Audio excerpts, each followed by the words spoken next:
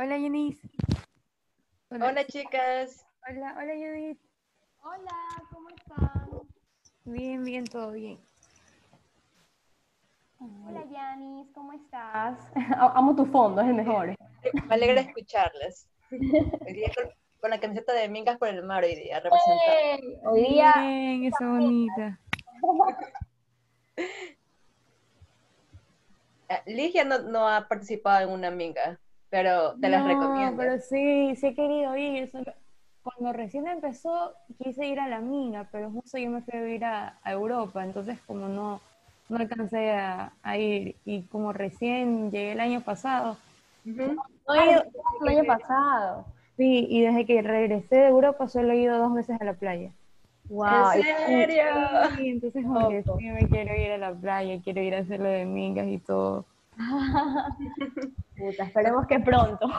Sí, espero que... Porque justo se pusieron en pausa todas las cosas con esto de la pandemia, entonces también. Sí, qué bestia, oye, pero bueno, esperemos que poco a poco se vayan reintegrando. Sí, esperemos que sí, porque sí, la pandemia pausó todo, todo pausó. Sí, La verdad es que sí, la verdad es que sí. ¿Sabes que no, no, no vi lo de, lo de Perú? ¿Alguien, ¿Alguien de ustedes vio el webinar de Perú? No, No, no, no, no. Era. Es, es- es una charla que creo que iban a hacer allá por, por dere- derechos humanos, creo. Oh, ya. Chicas, las hice confitrionas. Ya. Ya, perfecto, para poder ir aceptando a las personas. Sí, to- a las 3 en punto A las empezamos. tres, sí, sí, sí, porque todavía no son, todavía no son las tres. Ya, chéverísimo. Voy a empezar a, a transmitir en vivo en Facebook. Ay, cierto, sí, sí. A ver, ¿Qué? para ir viendo aquí. ¿Hoy arrancamos de una o así como ayer, Yanis, que vas a dar una pequeña introducción? Sí, como ayer. Todos los días va a ser así. Ah, ya, chéverísimo, porque de ley hay gente nueva, ¿no? En todos los días, entonces... Claro. Chéverísimo.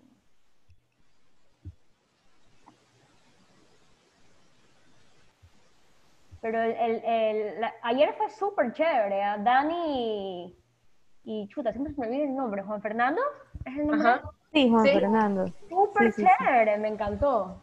Sí, salió súper bien ayer. Sí, salió súper chévere. Yo estaba en el trabajo mientras escuchaba y me pareció loquísimo. Yo no sabía que Juan Fernando tenía esa cuenta de los microplásticos. Recién me llego a enterar de ayer, imagínate. Sí.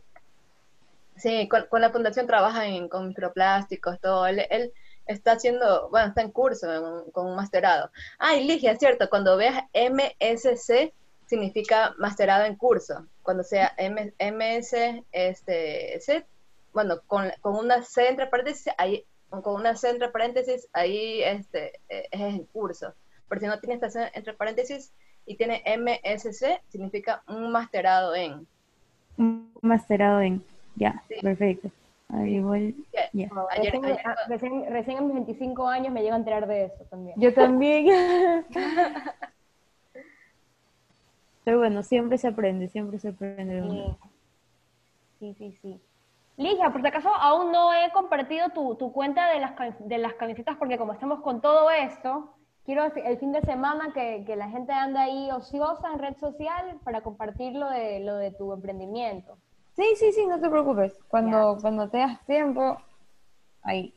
Sí, No hay Sí, es que, ahorita- es que ahorita todo, li- literal, las redes las hemos abombado con lo de la plata Sí. china, la tortuga, estamos ahorita, Sí. pero es- Sí, está todo a full ahorita. Ayer, ayer estuve en el, web- en el webinar que hizo Pacífico Libre de la, de la, de la, ay, del monitoreo marítimo.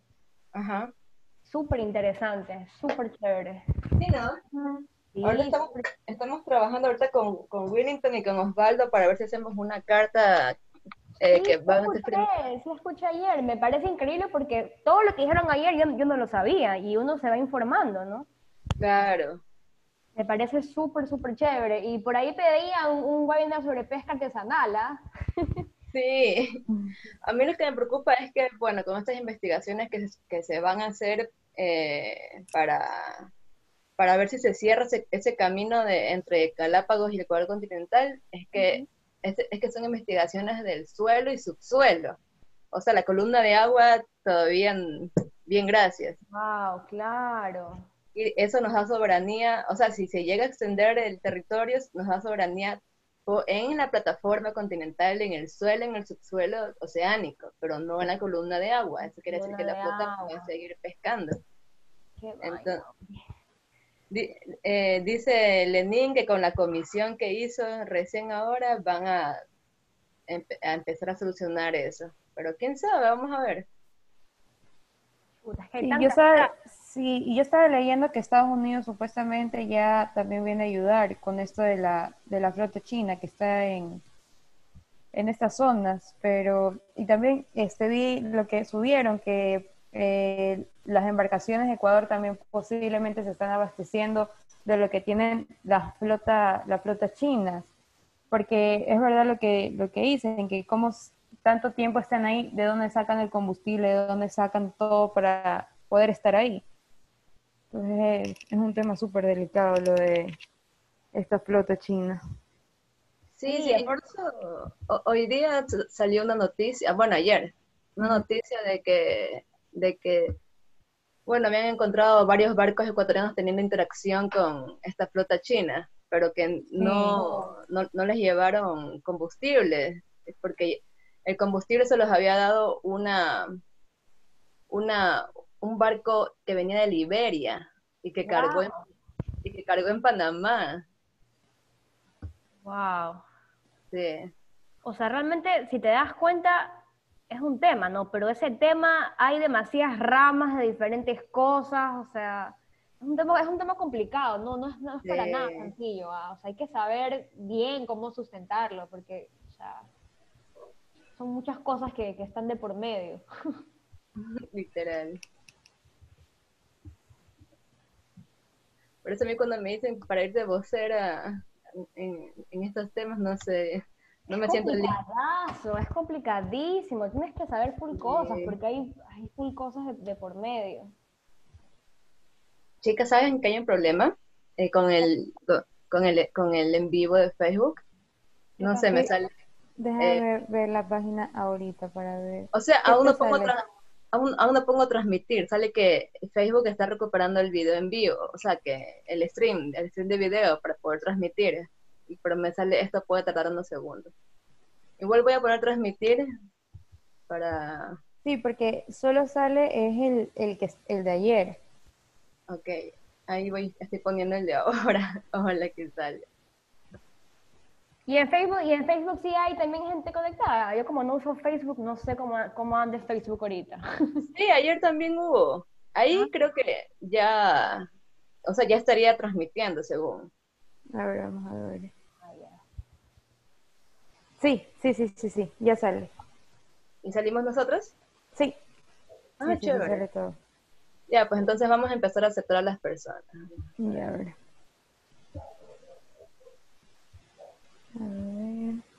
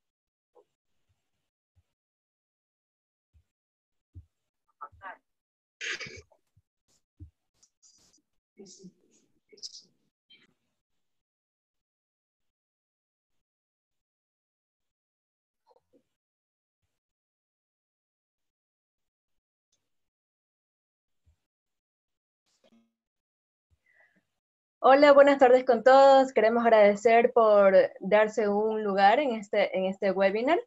Vamos a esperar cinco minutos a que todas las personas que este, están en fila ahorita puedan ingresar para poder empezar con el seminario web.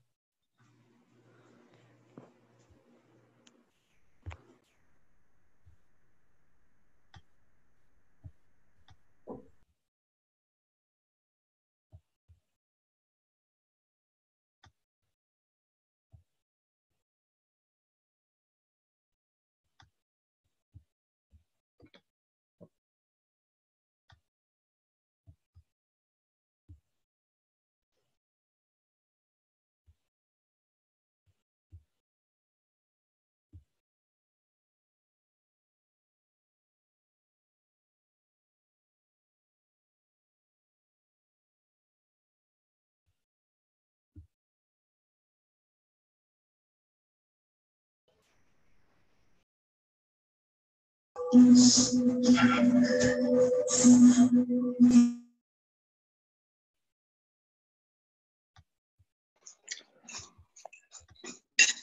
vamos, vamos ahorita. Antes que me dé flojera. Juanpa, pon, ya pusiste a... Sí, era con su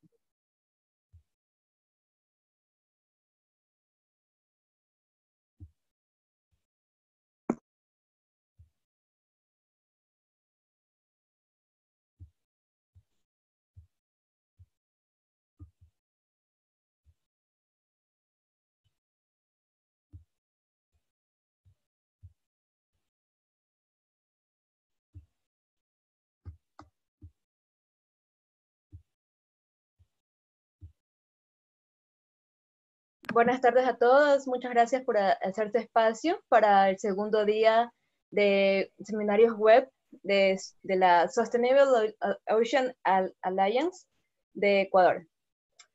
Eh, para contarles un poco acerca de, lo que es nuestra organización, eh, nosotros somos eh, un conjunto de jóvenes líderes que está cultivando ideas para acelerar soluciones que ponen en riesgo ahorita al océano. Eh, SOA organiza, a, nivel mundial, SOA organiza, participa y patrocina la educación y la promoción de prácticas sostenibles a través del acelerador de emprendimiento oceánico y al potenciar su red mundial de líderes defensores del mar.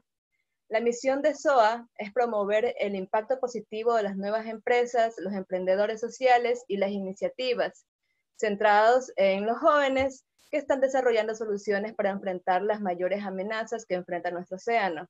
Estamos buscando socios que compartan nuestros valores fundamentales y nuestra visión y que también compartan la importancia del uso de datos eh, la innovación y la tecnología para abordar problemas educativos complejos, ya que creemos que juntos podemos eh, aportar experiencia y unir las relaciones en ciencia, tecnología, políticas y mercados en esta gran tarea. Eh, mundialmente, en todos los países, en todos los capítulos que hay, el SOA principalmente se enfoca en ayudar a que, se, que haya un cumplimiento de los, de los, objetivos de desarrollo sostenible de, de las Naciones Unidas. Eh, principalmente se enfoca en el, en el ODS 14, que es con la vida submarina, y, y, lucha en contra de la contaminación marina, acidificación marina, de, de la pesquería no sostenible y la de, destrucción del hábitat. En el año pasado, SOA apoyó a 15 emprendimientos eh, a, a, esto, a, las ideas de los emprendedores se les dio un acceso a la comunidad de, de, SOA a nivel mundial y se los vinculó con expertos en, en, océanos, negocios y tecnología. También se, les, eh, se los expuso a, en conferencias oceánicas de primer nivel. Eh, también son, eh, sí, según estas ideas, eh, so, reciben fondos para, eh, para desarrollar y acelerar las soluciones que ellos presenten. También eh, se les da educación, que es dirigida por expertos para emprendedores oceánicos. En SOA, dentro de SOA hay dos programas emblemáticos principalmente. Está el programa de liderazgo, liderazgo oceánico, que busca apoyar y convocar a los capítulos de SOA alrededor del mundo, como por ejemplo aquí en Ecuador, nosotros somos eh, el capítulo de Ecuador, eh, para promover soluciones y campañas de concientización para problemas críticos del océano. También está el Acelerador de Soluciones Oceánicas, que es un programa para acelerar el emprendimiento de jóvenes, brindando eh, eh, a los jóvenes empresarios una exposición de imagen, financiamiento y asesoría necesaria para crear soluciones de tecnología oceánica. Dentro de ese programa de liderazgo, que, eh, en los que están los diferentes capítulos de todos los países, se han impulsado diferentes eh, técnicas para dar cultura oceánica a las personas, como por ejemplo el campus eh, sin sorbetes en Estados Unidos, en Perú también, el, con, que, con el apoyo de Silvia Earl, el Centro de SOA en Perú influye constantemente en la legislatura peruana para acelerar la creación de un área marina protegida. Eh, también en Costa Rica, el capítulo de SOA también trabaja en conjunto para desarrollar un, eh, un santuario de vida marina de uso múltiple. También respecto al, otro programa, eh, como ustedes pueden ver, eh, SOA dio capacitaciones e impulso a varias, a varias startups que actualmente es, eh, forman una... Eh, que actualmente forman una, una red de, todas las, de, todos los emprendimientos que buscan soluciones del océano. Todas estas ideas eh, se reúnen en un acelerador en el mar, que lamentablemente este año se vio cancelada por la pandemia, pero eh, hasta el año pasado se realizó en el crucero National Geographic, eh, donde, se, donde todos, todos estos emprendedores, solucion, solucionadores oceánicos, se juntaron por varios días en un tour donde pudieron intercambiar sus ideas. Entonces, en solo ocho semanas, eh, ese, ese programa acelerador impulsa tu idea para salvar al océano. Incluso eh, actualmente está abierto eh, la tercera cohorte del año 2020 hasta el 3 de agosto, así que si tienen alguna idea, sería muy bueno que aprovechen y postulen. Como ustedes pueden ver, SOA es la red de jóvenes líderes más grande de todo el mundo. Está en todos los países que ustedes pueden ver aquí, por medio de capítulos, por medio de líderes, eh, en todos los puntos anaranjados se realizan cumbres y también eh, hay varios emprendimientos.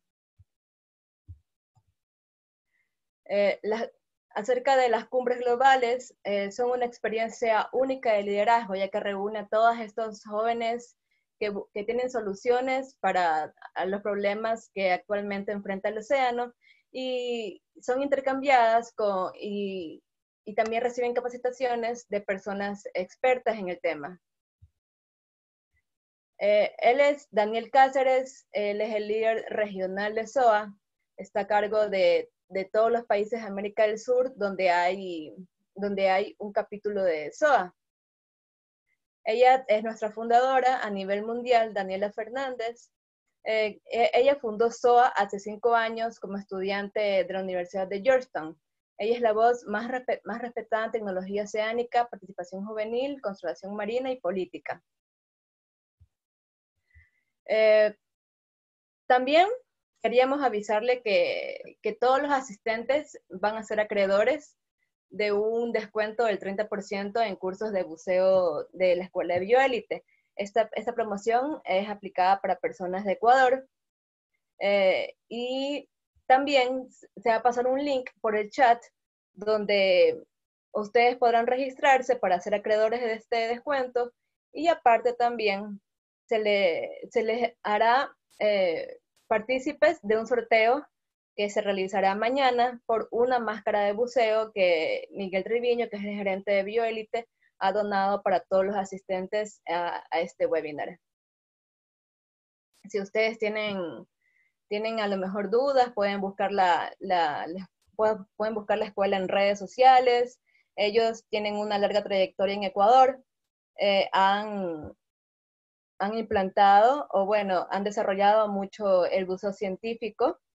Entonces es una buena opción para que conozcan eh, un poco más allá del, océano que siempre vemos, a lo mejor desde la playa, que solo vemos una línea azul.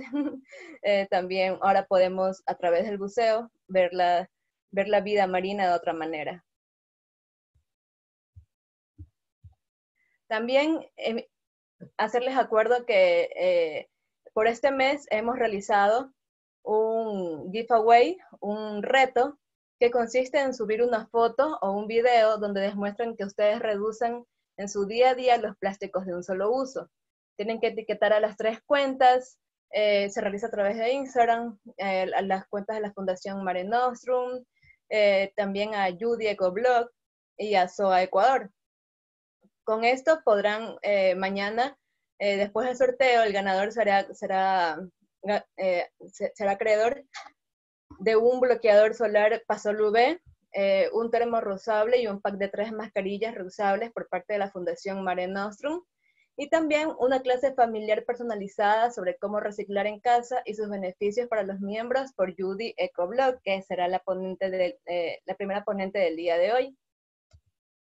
Eh, para obtener más información acerca del capítulo de SOA en Ecuador, pueden contactarnos por correo eh, o también por Facebook o Instagram como SOA Ecuador.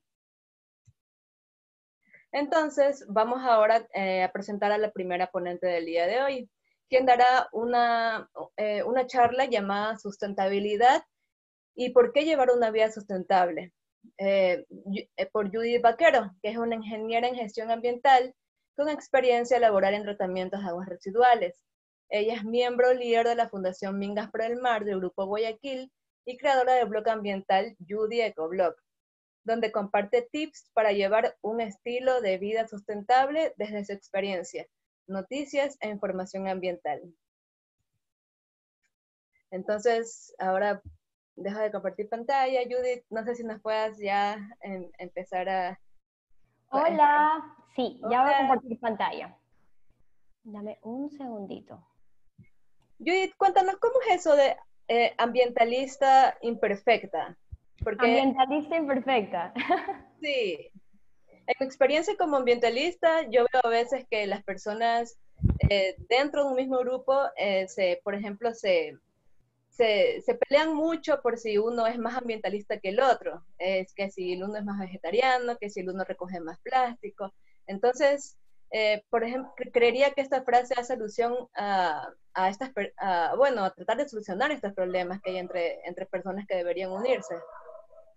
Sí, por supuesto. Eh, realmente esto eh, fue un movimiento, no recuerdo quién lo empezó, pero se trata de indicar que realmente no todo tiene que ser perfecto, porque a veces decimos, como tú lo mencionaste, ¿no? Bueno, eres ambientalista, reciclas, pero no eres vegetariana, o bueno, este, no usas plástico, pero usas eh, productos que tienen químicos. Realmente va más allá de eso, es un proceso que cada uno lo tiene que acoplar su estilo de vida poco a poco, cada uno tiene su proceso, entonces se trata de eso, que no todo tiene que ser perfecto, no tienes que realmente eh, ser 100% ecologista para ser ambientalista, simplemente tratar de ser consciente con, tu, con tus hábitos, con tu estilo de vida y tratar de siempre buscar alternativas sustentables que vayan de acuerdo a tu ritmo de vida. Entonces realmente por eso nos llamamos dentistas imperfectos, porque nos frustramos a veces, ¿no? Que porque un día eh,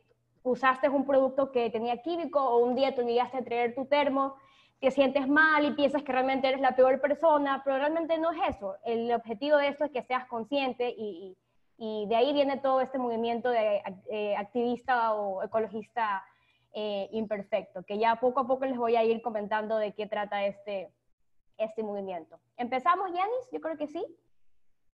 Ya. Bueno, este, hola a todos, buenas tardes. Como ya me presentaron, mi nombre es Judith Vaquero y el día de hoy les traigo una pequeña charla, el cual eh, el tema es la sustentabilidad. Y quise que la charla del día de hoy sea el título en forma de pregunta. ¿Por qué llevar un estilo de vida sustentable? Y se van a preguntar, ¿qué es tener un estilo de vida sustentable o qué es sustentabilidad? Llamamos sustentabilidad eh, a lo que significa o el concepto es este, tratar de satisfacer las necesidades de los seres humanos eh, sin afectar a las generaciones futuras. En resumen, en mis palabras, es tratar de vivir, eh, de fluir sin afectar a los demás.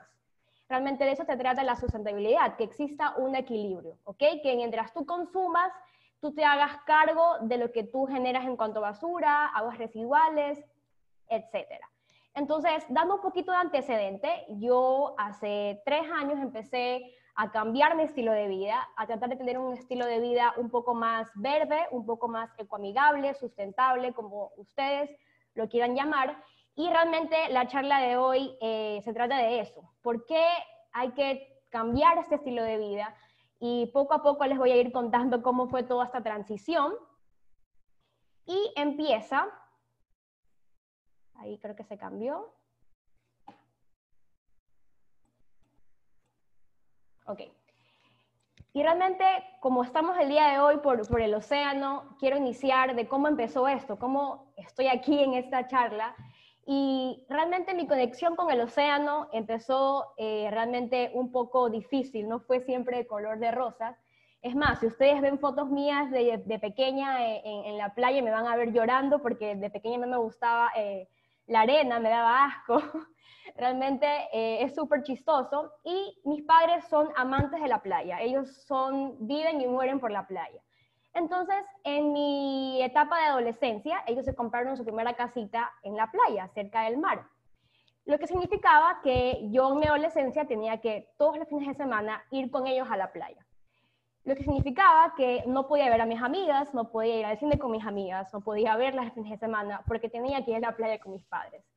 Entonces realmente eh, yo asociaba la playa con no ver a mis amigas, eh, porque obviamente cuando uno está en esta etapa de adolescente no, no, no, puede, no, no comprende bien las cosas y realmente en esa etapa uno prefiere a las amigas que a la familia. Entonces, realmente yo cada fin de semana que iba a la playa iba súper enojada porque era unos días más que no veía a mis amigas. Hasta que un día dije, ok, esto tiene que cambiar. Si vengo siempre a la playa, tengo que darle una oportunidad a la playa y realmente disfrutarla. Dicho y hecho, empecé a disfrutarla y desde ese momento estoy totalmente agradecida con mis padres por llevarme a la playa y realmente desde ahí empezó mi conexión con el océano, desde ahí empezó el amor hacia la naturaleza, yendo a la playa. Entonces, eh, poco a poco me empecé a dar cuenta que me gustaba mucho saber sobre ciencias ambientales, eh, me gustaba mucho saber sobre la naturaleza, los impactos, hasta que me gradué del colegio y me gradué del colegio con una mención en ciencias ambientales. Entonces realmente me di cuenta que era algo que me gustaba, que me apasionaba, quería saber qué pasaba con la naturaleza, qué, qué, qué ocurría. Entonces, eh, dicho esto, empecé mi carrera universitaria y inicié mi carrera de ingeniería en gestión ambiental. ¿Ok?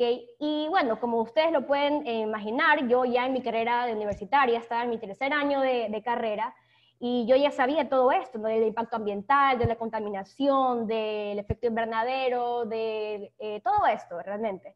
Pero me daba cuenta que mi estilo de vida no concordaba con lo que estaba estudiando. Yo todavía, eh, podemos decir que tenía un estilo de vida como todos, realmente usaba plástico, eh, no era consciente de lo que yo, de, que, de, de, mis acciones. Es decir, que yo simplemente compraba por comprar y no me cuestionaba qué pasaba con esa basura qué pasaba con ese desecho. Y realmente yo soy súper fan de ver documentales. Así que un día eh, vi un documental que si es que no lo han visto, eh, les aconsejo que este fin de semana se lo vean. Y vi ese documental que está en Netflix que se llama Mission Blue o Misión Azul.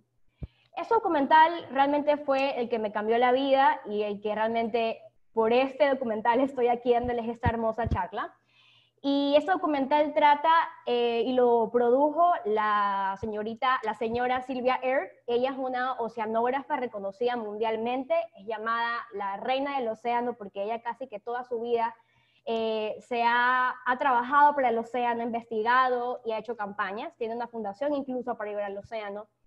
Y en ese documental ella nos muestra de que realmente sin el océano no podemos existir. Lo que decíamos el día de ayer en, las charlas que mis colegas pudieron darlas, ¿no? que realmente estamos cubiertos de océanos y de cualquier u otra forma, así no vivas cerca del mar, eh, estás conectado con el océano de una u otra forma. Y en este documental nos muestran lo maravilloso que es el océano, eh, realmente todas las ventajas que nos da el océano eh, y también nos da todo lo negativo que está ocurriendo con el océano.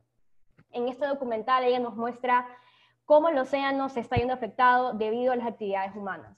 Entre esas, la acidificación del océano, la muerte de los corales, muerte de varias especies, pesca ilegal, eh, y entre esos, eh, el que me llamó más la atención en ese momento fue la contaminación por plásticos. ¿okay? Ella en este documental nos muestra cómo el plástico está afectando de manera nociva al océano.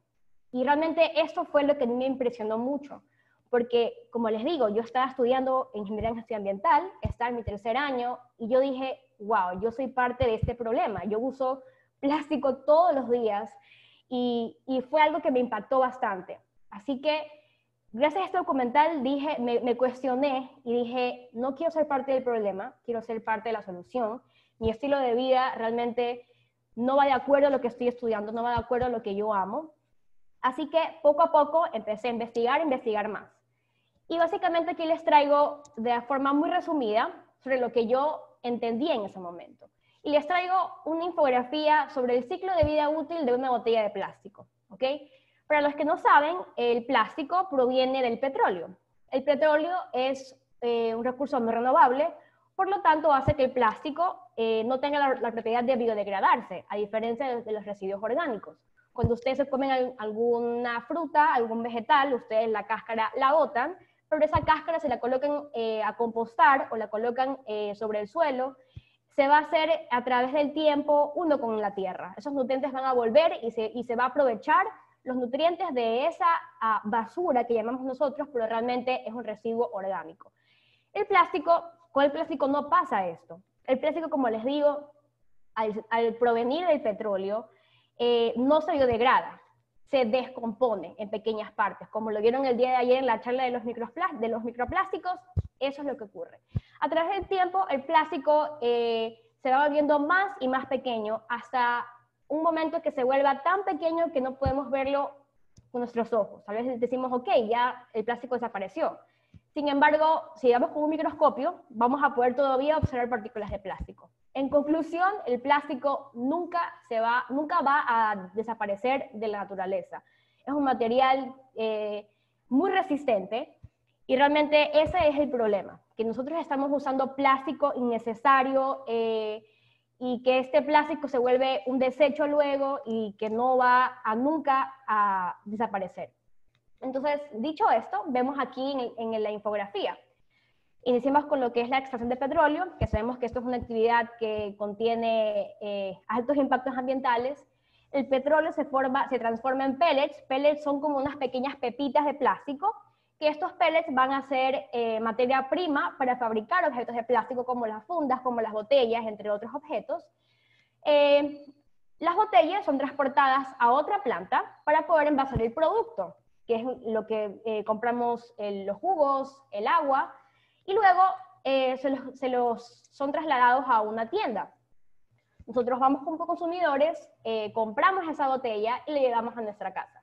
¿okay? Y hay, en ese momento hay dos vías. Una vez que ya utilicemos esa botella de plástico, tenemos dos opciones. Primero, reciclarla y segundo, simplemente botarla al tacho de basura, que es lo que generalmente hacemos. ¿ok? Y como les digo, el plástico realmente a veces las personas piensan que los ambientalistas estamos en contra del plástico y como lo dijo el día de ayer Juan Fernando, el plástico es un material maravilloso que realmente sin él no estuviéramos aquí ante esta charla. El problema es el plástico de un solo uso, el plástico desechable. ¿Por qué? Porque usamos una funda, una botella, un cubierto, un sorbete de plástico, lo usamos máximo 10, 15 minutos. Pongámosle una hora como máximo. ¿okay? Y luego de que usamos esa, ese, ese, ese objeto de plástico un solo uso, lo que hacemos es desecharlo. Entonces realmente es un uso totalmente innecesario y es algo que usamos en tan poco tiempo para que realmente permanezca en la naturaleza toda una vida.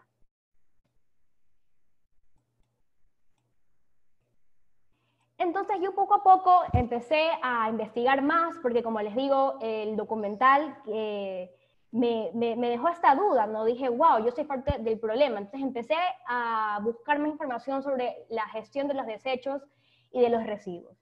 Y entendí que eh, cómo funciona la generación de los desechos y residuos. Aquí les traigo otra, otra, otra infografía en donde obviamente eh, nosotros somos consumidores y al ser consumidores vamos a generar basura, ¿verdad? Luego la almacenamos, ya sea en un centro de acopio o en un tacho de basura, Luego viene el recolector de basura. Y como le digo, también hay dos vías. Eh, la vía de reciclaje y la otra vía que vendría a ser el, el sanitario. ¿Qué es lo que ocurre? En mi país, Ecuador, y en mi ciudad de Guayaquil, no existe una cultura de reciclaje. Por lo tanto, es muy difícil de que exista una economía circular. Economía circular significa de que realmente nada salga de este círculo, nada salga de este ciclo, todo se aproveche, todo material sea aprovechado, no desechado.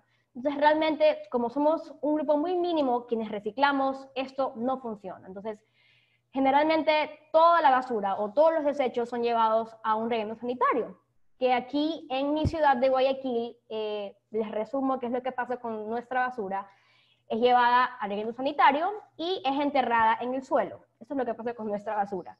Eh, se llaman estas celdas emergentes en donde realmente eh, eh, sí, caben huecos en el suelo y entierran poco a poco nuestra basura hasta que esta celda o este hueco ya sea completamente, ya esté lleno completamente.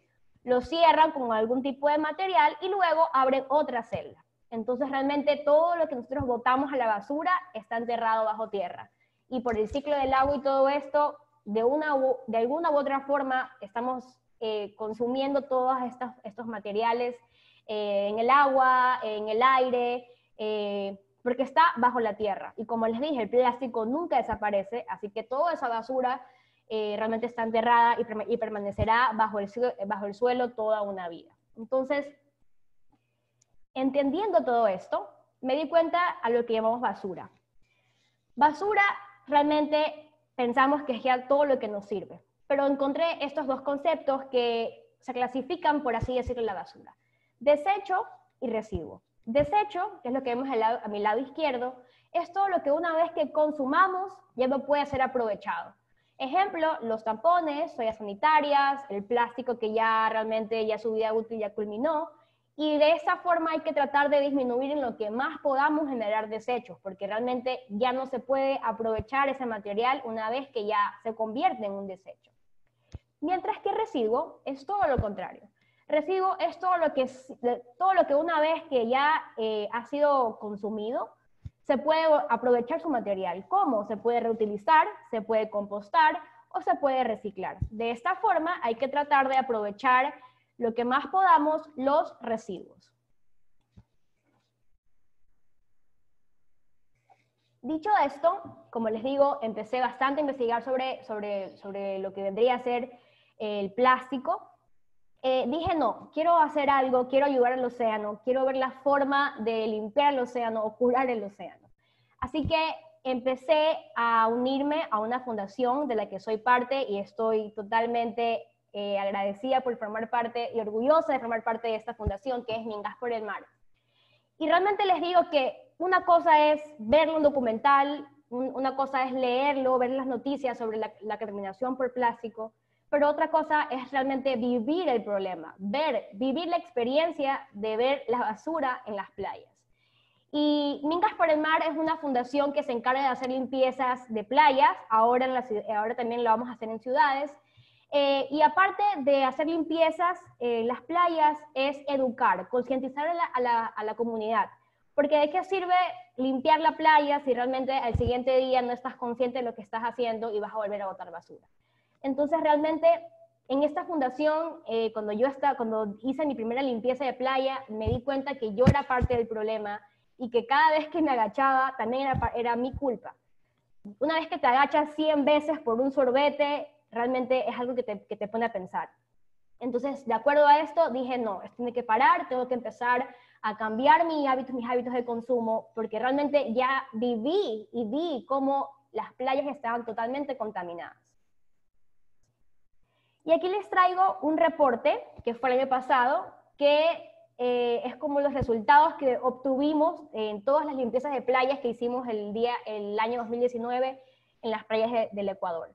Y realmente nos pudimos dar cuenta que el 86% de los artículos que eh, re- recolectábamos o recogíamos eran de plástico. A mi lado derecho se pu- pueden observar los 20 artículos más frecuentes que encontramos, en donde 16 de ellos tiene que ver la relación en cuanto a nuestro consumo de nuestros alimentos. Tapas, vasos, cubiertos, sorbetes, envoltorios de comida, fundas plásticas, botellas, tarrinas. Todo tiene que ver con nuestros hábitos de consumo de alimento. Entonces realmente nos podemos dar cuenta que existe un problema, que el océano está sufriendo una contaminación por plásticos y que los responsables somos nosotros. Y a veces pensamos simplemente, no, si es que no, si es que no uso una botella de plástico, si es que no uso un sorbete de plástico, no va a hacer la diferencia. Realmente sí hace la diferencia, porque realmente, como les digo, tú compras una botella de plástico, la desechas y esa botella de plástico va a permanecer toda la eternidad en la naturaleza. Y me di cuenta que realmente todos estamos conectados entre nosotros. Eh, como lo mencionaron el día de ayer, a veces uno piensa que porque no vive cerca del mar o porque no vive cerca de un bosque o porque no vive cerca de un río, no está conectado con la naturaleza y que tus actividades no van a repercutir en la naturaleza porque estás en la ciudad. Y realmente esto es totalmente erróneo.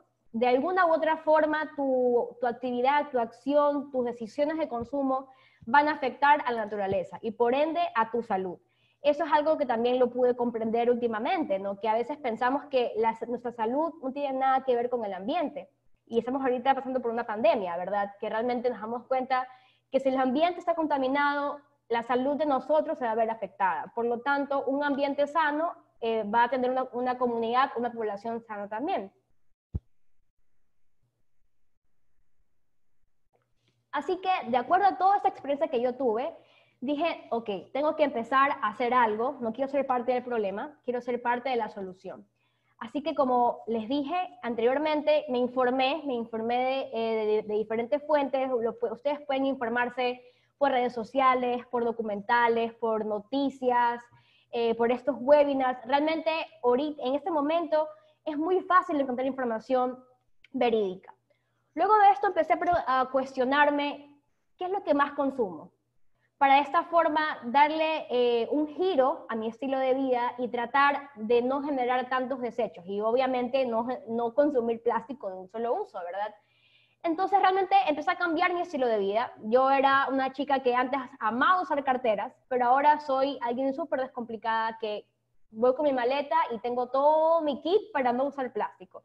Y poco a poco te vas acostumbrando y poco a poco vas acoplando eh, diferentes hábitos. Lo que les digo, no, no, se, no se alteren y no, y no quieran eh, añadir o cambiar todo de golpe. Realmente todo es poco a poco, de acuerdo a tu, a tu, estilo de vida, a tu ritmo de vida y a tu economía. Así que poco a poco me estaba cuestionando qué es lo que más usaba. Todos los días, ¿qué hacía? Eh, tomaba agua. Entonces realmente al día consumía tres, dos botellas de plástico. Así que dije, no, ok, me voy a comprar un termo. Y les cuento una experiencia, dice que a veces nos dejamos llevar eh, por la moda o porque se ve bonito. Y por ejemplo, como yo estaba súper enfocada en el tema del plástico, yo estaba muy cerrada y realmente no era consciente. Entonces yo en mi casa ya tenía un termo, era de plástico, pero era de plástico reutilizable, era de plástico duradero. Pero como era de plástico, simplemente yo dije, no, como es de plástico no puedo usarlo porque no es ecoamigable, porque no es verde, porque no es sustentable. Así que me fui a comprar un termo nuevo que era de acero inoxidable. Y realmente eso es un error. Lo que siempre les aconsejo es que hay que, tratar de reutilizar lo que ya tienes y una vez que ese producto ya haya cumplido con su ciclo de vida útil, ahí optar por, comprar eh, una alternativa mucho mejor. Luego de eso empecé a consumir productos sustentables, empecé a cambiar mi cepillo de dientes de plástico por uno de bambú, empecé a buscar alternativas, que es lo que yo usaba. Eh, yo antes usaba toallas sanitarias, me cambié la copa menstrual y poco a poco fui eh, cambiando diferentes productos porque aparte de que estos productos vienen generalmente empaquetados en plástico y ya sabemos todo lo que, lo que conlleva usar plástico desechable, eh, estos productos están totalmente llenos de químicos, que aparte también de eh, alterar la calidad del aire, del suelo y del agua, de, la naturaleza, también afecta a nuestra salud. Porque, por ejemplo, algo que siempre usamos, la pasta dental. La pasta dental tiene microplástico, ¿ok? Eh, ese microplástico hace que como que te exfolie los dientes y realmente tengas una mayor limpieza dental. Entonces, realmente es algo que nos ponemos todos los días y nos estamos llenando de químicos en nuestro cuerpo. Así que traté de poco a poco eh, cambiar eh, los productos que yo veía que usaba diario por una alternativa un poco más ecoamigable. Consumir local, de esta forma estás apoyando la economía de tu país y al mismo tiempo estás disminuyendo la huella de carbono, porque muchas veces eh, nosotros preferimos algún producto de otro país, pero no nos podemos a pensar en el impacto ambiental del traslado o del viaje de ese producto a nuestro país. Luego también empecé a cuestionarme bastante de las marcas y de las empresas que utilizan animales para probar sus productos y empecé a investigar y muchas de las marcas que yo usaba eh, me dado cuenta que esas marcas utilizaban animales para probar sus productos. Así que descubrí esta aplicación que se las dejo, la pueden descargar en su, teléfono o la pueden simplemente buscar por, por, por, internet en su computadora. Se llama Bunny Free. Ustedes en la aplicación colocan la marca de algún producto. Esta aplicación se maneja más con las marcas que son más conocidas, por ejemplo, Colgate, este, Dove, entre otras. Así que tú colocas, por ejemplo, la marca y automáticamente la aplicación te va a decir si esta marca o esta empresa eh, es cruelty free o no lo es. Reciclar, realmente vamos a hablar de esto un poquito más adelante, reciclar siempre tiene que ser nuestro plan B. A veces pensamos que si reciclamos estamos haciendo bastante, pero como les digo, eh, lastimosamente en mi país no existe la cultura de reciclaje, por lo tanto este círculo de economía circular se pierde, por lo tanto siempre la primera opción es rechazar y reutilizar. Y ya por último, si es que no sabemos qué hacer con ese material, reciclarlo. Unirme, unirte a fundaciones, esa fue la otra acción que hice, como les dije, formo parte de Mingas por el Mar, que realmente eso te ayuda bastante porque te, te, nutre tanto de información, porque te encuentras con personas que hacen lo mismo que tú eh, y realmente te eh, puedes apoyar de esta forma eh, actuando. Y por último, incentivar a más personas, porque ese es el punto de todo esto, ¿no? Y espero que luego de mi charla muchos de ustedes ya empiecen a cuestionarse sus hábitos de consumo y puedan poco a poco tratar de ver la forma de ser un poco más sustentables, más ecoamigables con el ambiente. Entonces, como les decía, empecé a buscar alternativas sustentables de acuerdo a mis hábitos de consumo. A veces uno se vuelve loco y quiere comprar todos los, todos los, eh, los productos zero waste o todos los productos ecoamigables, pero realmente hay que primero cuestionarse qué es lo que tú consumes. Por ejemplo, si tú eres una persona que realmente no consume café, ¿por qué compartes un termo de café? Entonces, a lo que voy es tratar de ser un consumidor responsable y realmente consumir o tener eh, objetos que realmente te sirvan, no que lo tengas ahí este, en, un, en una esquina, ¿no? Y durante esta transición eh, me di cuenta que tenía muchos errores. Aparte de que estaba teniendo una transición muy, eh, muy positiva para el ambiente y tanto para, para mi salud, como les digo, me daba cuenta que estaba teniendo muchos errores. Y el primero es que me cerraba ante algo en específico. Como les dije, a mí la contaminación por plástico fue algo que realmente me impactó bastante y yo estaba súper enfocada en el plástico. Entonces, todo lo, que, todo lo que era plástico para mí estaba mal. Entonces, lo que les digo es que realmente no estamos en contra del plástico, porque el plástico es un material excelente que eh, podemos darle un uso, eh, podemos darle diferentes usos. Su problema es el plástico desechable, que es el plástico innecesario, eh, los sorbetes, las pajitas, como ustedes lo quieran llamar, es algo súper innecesario que lo puedes reemplazar por, por, por un sorbete de, de, de, acero inoxidable. Entonces, realmente, eh, como les conté, lo que pasó con mi termo, tenía ya un termo en casa, era de plástico, pero realmente podía reutilizarlo, pero simplemente por cerrarme ante algo específico, empecé a consumir eh, otro tipo de productos. Entonces, realmente eso fue uno de mis primeros errores, cerrarme ante algo específico. El segundo, educaba, entre comillas, de forma incorrecta a las personas que no tenían un estilo de vida sustentable. Como estaba en esta transición, yo si veía a mi familia o a mis amigos o a mis amigas ver que usaban sorbete, ver que usaban eh, algún producto que no era comigable, yo simplemente eh, me ponía enojada, uy, perdón, se fue, me ponía enojada y los retaba, le decía, ¿por qué usas esto? Ni sé qué, y me di cuenta que no era la forma correcta. La forma correcta siempre de tratar de educar a las personas cuando tú observes que usen plástico desechable o algún tipo de producto que no sea amigable. La forma correcta es simplemente primero explicarle por qué está mal, por qué está mal este material, por qué está mal usar este producto. Y luego de, de explicarle de buena forma, darle una, una, alternativa. Decirle, mira, si tú utilizas este producto, puedes usar otro producto más. Entonces, de esta forma, estás educando de forma positiva y así las personas pueden entenderte y pueden comprenderte de una mejor manera. Otro error es que, como les contaba, yo compraba de forma muy compulsiva los productos sustentables. Yo veía algo que decía eh, verde, algo que decía ecología, algo que decía eco-friendly, y yo lo compraba sin antes cuestionarme si realmente yo necesitaba esto. Me dejaba llevar mucho por la moda, me dejaba llevar mucho por los colores, como era verde, decía, mira, como es verde es sustentable. Entonces realmente esa fue, ese fue otro de mis errores. No era una consumidora responsable. El cuarto error es algo que también les voy a explicar eh, más a fondo porque creo que es algo muy importante y no todos lo sabemos, es que me dejaba llevar por el greenwashing. El greenwashing es una técnica de marketing engañosa que las diferentes marcas y empresas utilizan para poder venderte su servicio, su producto y hacerte creer que es un producto amigable con el ambiente. Y luego les voy a explicar. Entonces, yo realmente, como les digo, veía un producto que decía eco-friendly o era de color verde o tenía algún símbolo de reciclaje. Yo pensaba que ya era amigable y me lo compraba por comprar. No, no investigaba y no me cuestionaba antes de consumirlo o comprarlo. Y por último, un error este, también muy común es que empecé a hacer este, esa transición sola, en vez de hacerlo junto a mi familia. Realmente eh, yo era la única de mi familia que empezaba, que sabía este tema, que sabía lo del plástico. Mi familia simplemente eh, seguía usando plástico, seguía usando eh, productos que tenían químicos y realmente no les di esa charla que les doy ahorita en ese momento cuando yo empecé a darla. Así que esto fue otro de mis errores porque yo me enojaba con ellos eh, y realmente mi error era no haberles explicado como les dije anteriormente. Entonces, dicho esto, entendí que no, no, de que un ambientalista o un ecologista no por, no por tener más productos sustentables o no por tener más cosas que sean eh, de color verde, eh, te hace realmente un agente de cambio. Hay que ser un consumidor responsable. ¿ok? Entonces, aquí les traigo tres diferentes etapas resumidas sobre lo que es el consumo responsable.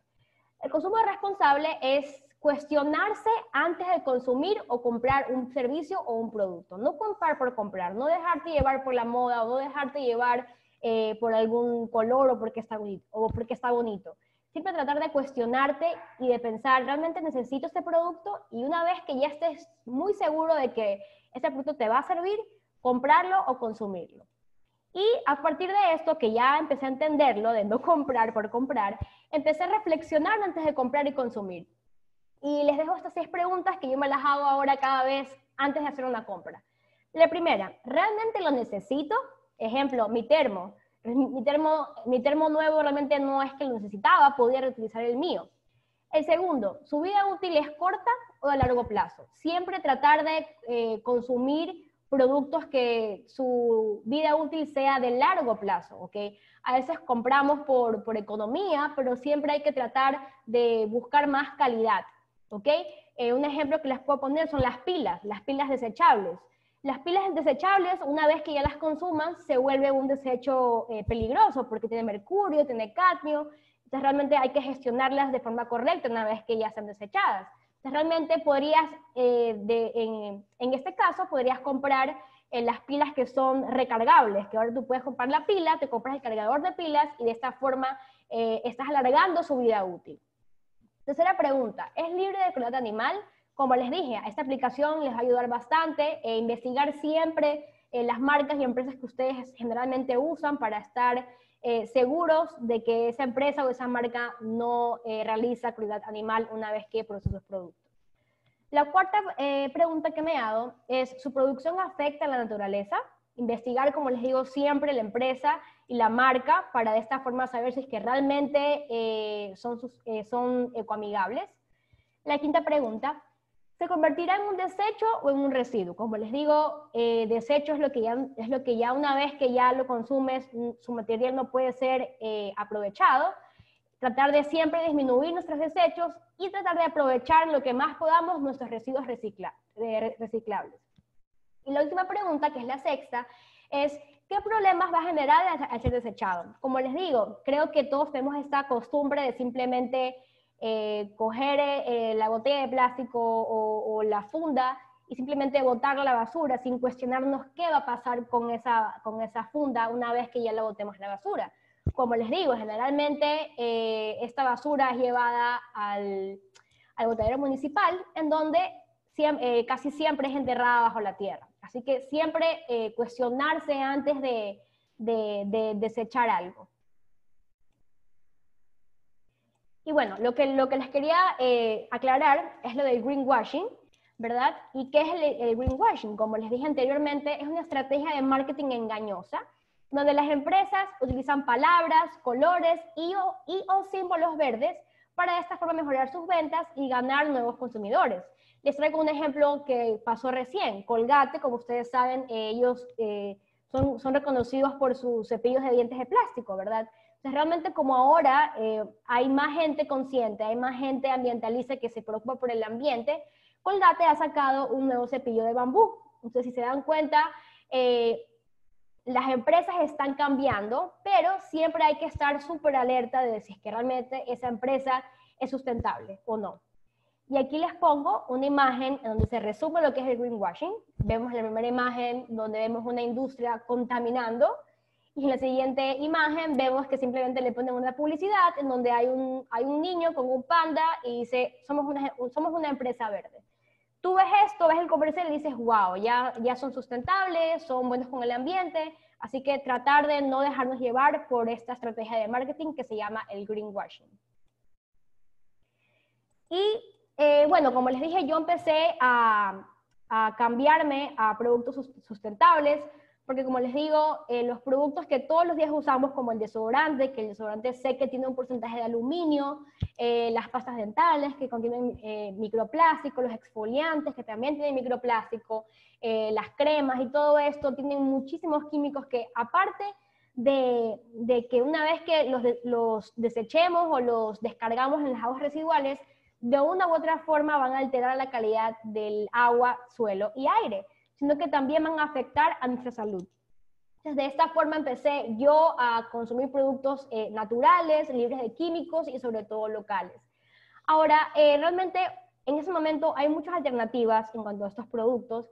En caso de que simplemente no quieras comprar este producto, tú lo puedes hacer. Ahora en YouTube eh, hay muchas cuentas también en Instagram, en Facebook, donde te enseñan cómo hacer tu propio desodorante, tu propio shampoo, tu propia pasta dental. Así que realmente hoy en día hay muchas alternativas muy buenas que se pueden acoplar a tu estilo de vida, a tu ritmo de vida y sobre todo a tu economía. Y algo que yo me preguntaba antes de empezar en este estilo de vida sustentable, y es lo que me daba cuenta y lo que mucha gente me pregunta siempre, es ¿por qué los productos eh, verdes o los, productos sustentables son más caros, verdad? Y realmente es por una simple y sencilla razón. La comunidad que consume, más que nada en mi país Ecuador, eh, la comunidad que eh, consumimos productos naturales o sustentables es una comunidad muy reducida. ¿ok? Entonces, realmente no, una, una, un microemprendimiento o una marca que recién está iniciando con productos sustentables no puede competir, no puede competir con estas marcas ya, eh, que ya están posicionadas en el, en el, mercado. Por ejemplo, si, si mañana me pongo yo una marca de, me invento, de, pasta dental, ¿ok? Eh, que es, es, local, es una, es una marca sustentable, que está libre de químicos, es natural, no puedo competirme con el precio de Colgate, ya que es una, que es una marca que sea como sea, vende todos los días miles de millones de dólares, ¿verdad? Entonces realmente esto va muy de acuerdo a la ley de oferta y de demanda, que entre más personas consuman un producto, el costo poco a poco va a disminuir por su alta demanda. Y, también al contrario, ¿no? Viceversa entre menos personas consuman un producto, el costo se mantendrá alto por la baja demanda. Por lo tanto, es eh, por ende la importancia de que siempre tratemos de consumir productos locales, productos naturales, porque realmente nosotros como consumidores tenemos el poder de decidir qué marcas, qué empresas y qué productos entran y salen en el mercado. Se pueden dar cuenta que ahora muchas empresas están eh, tratando de, de renovarse, de ver de qué forma llegar a más consumidores, porque si bien es cierto, poco a poco la comunidad que está más consciente en cuanto al medio ambiente está creciendo, entonces ya la, ya la gente ya no te compra tanto plástico, la gente trata de, de buscar una alternativa más sustentable. Por lo tanto, las empresas y las marcas se están reinventando para ganarse a esos consumidores. Y bueno, realmente con todo lo que, lo que les acabo de comentar, eh, me pareció súper chévere empezar este estilo de vida, me iba súper bien, eh, me funcionaban todos los productos, me sentía a gusto, realmente mi basura ya no era tanta como antes, ya casi que no generaba plástico. Y yo seguía muchas páginas en redes sociales en las que tenían este estilo de vida también. Sin embargo, no, no veía una página o no veía a alguien que lo hacía de forma local, que te diga, mira, en tu ciudad puedes ir a llevar tus, eh, tus botellas de plástico para reciclarlas en tal lugar, o puedes ir a esta tienda para poder consumir productos al peso.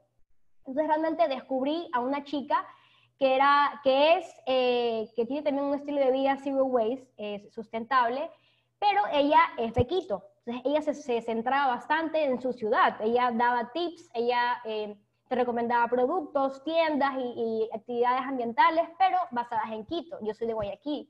Entonces realmente sentía que en mi ciudad no, no, no había una, una, alguien como una guía que te diga dónde comprar, qué hacer, qué puedes hacer. Entonces realmente empecé a, a crearme eh, una cuenta, de la cual la pueden ver aquí. Me hice un blog, me creé un blog ambiental en la red social de Instagram, que es judy-ecoblog, en donde aquí empezaba a compartir todo lo que les acabo de decir. Eh, yo eh, comparto información, comparto eh, noticias y trato de siempre dar alternativas sustentables a las personas para realmente demostrarles que no es para nada difícil empezar un estilo de vida sustentable, no es para nada costoso, porque les digo, ahora hoy en día hay muchas alternativas, puedes hacer tú mismo tus propios productos o puedes comprarlos. Entonces realmente por eso me creé este blog, en donde mucha gente eh, me, me, escribe, me dice, ¿sabes qué? Gracias a ti eh, me cambié tal producto y me ha ido excelente, me siento mejor. Entonces realmente quise, eh, quise compartir eh, mis conocimientos y mi experiencia a más personas y de esta forma concientizar a, la comunidad de, de mi ciudad. Y algo súper interesante que también les quiero compartir es sobre este reto, sobre este challenge que se lo hace todos los julios de todos los años, que se llama Plastic Free Life, julio sin plástico. Cada año se hace este reto o este challenge y realmente con este reto es que yo empecé a, sustituir mis plásticos de un solo uso, como botellas, sorbetes, cubiertos, fundas, con productos realmente que puedan ser reutilizables. Es un reto donde tú eh, te propones a, a, cambiar ciertos tipos de productos de acuerdo a tu ritmo. Si tú quieres primero empezar por las botellas con agua, si luego quieres añadir que quieres eh, rechazar los sorbetes. Entonces, eso te va incentivando a poco a poco cambiar, eh, eh, estos productos, ¿verdad? Entonces, poco a poco empecé a cambiar eh, de botellas a un termo, de sorbetes de plástico a sorbete reutilizable, por ejemplo, los cubiertos. Los cubiertos muchas veces nos dejamos llevar por el greenwashing, como les dije anteriormente, y vemos unos cubiertos de bambú que dicen eco-friendly, que dice ecoamigable, pero realmente podemos reutilizar los cubiertos que tenemos en casa. Entonces, eso es lo que yo voy, tratar de reutilizar lo que ya tienes y no dejarte llevar eh, por el marketing engañoso verde. Eh, me cambié de, las toallas a una copa menstrual, cambié mi cepillo de dientes, mis productos, y poco a poco empecé a cambiar todo mi baño y todos mis productos. Y realmente cuando lo haces poco a poco y consciente, eh, ya te vas acostumbrando, ya para ti es algo del día a día. Luego de como les digo, eh, empecé a también tomar acción en mi casa, porque yo era la única que tenía este estilo de vida y dije, quiero que también mi, familia lo haga conmigo. Así que les di una charla también, les di una charla virtual, les expliqué todo lo que les acabo de explicar a ustedes para que de esta forma primero sean conscientes de por qué realmente hay que hacer estas acciones y luego de que sean conscientes y que entiendan el problema, les, doy, les di las alternativas. Así que, por ejemplo, en mi casa ya les expliqué todo, les di las alternativas, estamos ahora reciclando, eh, hemos colocado cartones que han sido reutilizados desde mi trabajo, en mi oficina, y en cada cartón se pone eh, los diferentes residuos reciclables para de esta forma reciclar. Eh, algo también que, que, también hemos cambiado en mi casa es que generalmente siempre una vez que cocinamos, vertimos el aceite del sartén directamente donde se lavan los platos. Realmente de esta forma estamos contaminando el agua, ¿verdad?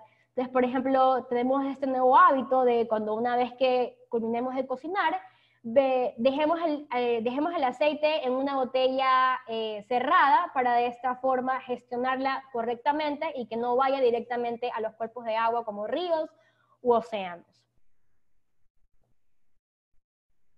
Y les dejo con dos eh, de las frases que me han ayudado bastante y que me inspiran. Una de ellas es por Greta Thunberg, que ella, como ustedes saben, es una niña que empezó a hacer huelgas climáticas eh, todos los viernes y dice, nunca eres eh, pequeño para marcar la diferencia.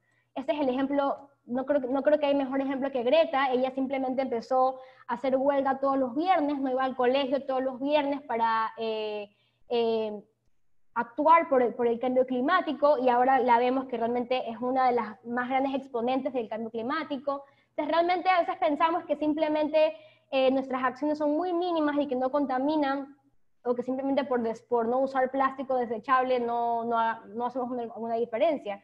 Pero es todo lo contrario, cada acción cuenta y realmente de que ya seas consciente de algo es un excelente paso. Y les dejo con la última, que es lo que comentó Yanis al principio, y es que realmente no queremos ambientalistas perfectos, no queremos que, que de aquí a mañana realmente eh, empieces a comprar todo sustentable, sino que poco a poco vayas acoplando alternativas sustentables, también hábitos ecoamigables a tu estilo y ritmo de vida, que queremos ambientalistas imperfectos, que poco a poco sean conscientes y que poco a poco eh, vayan encontrando su mejor alternativa.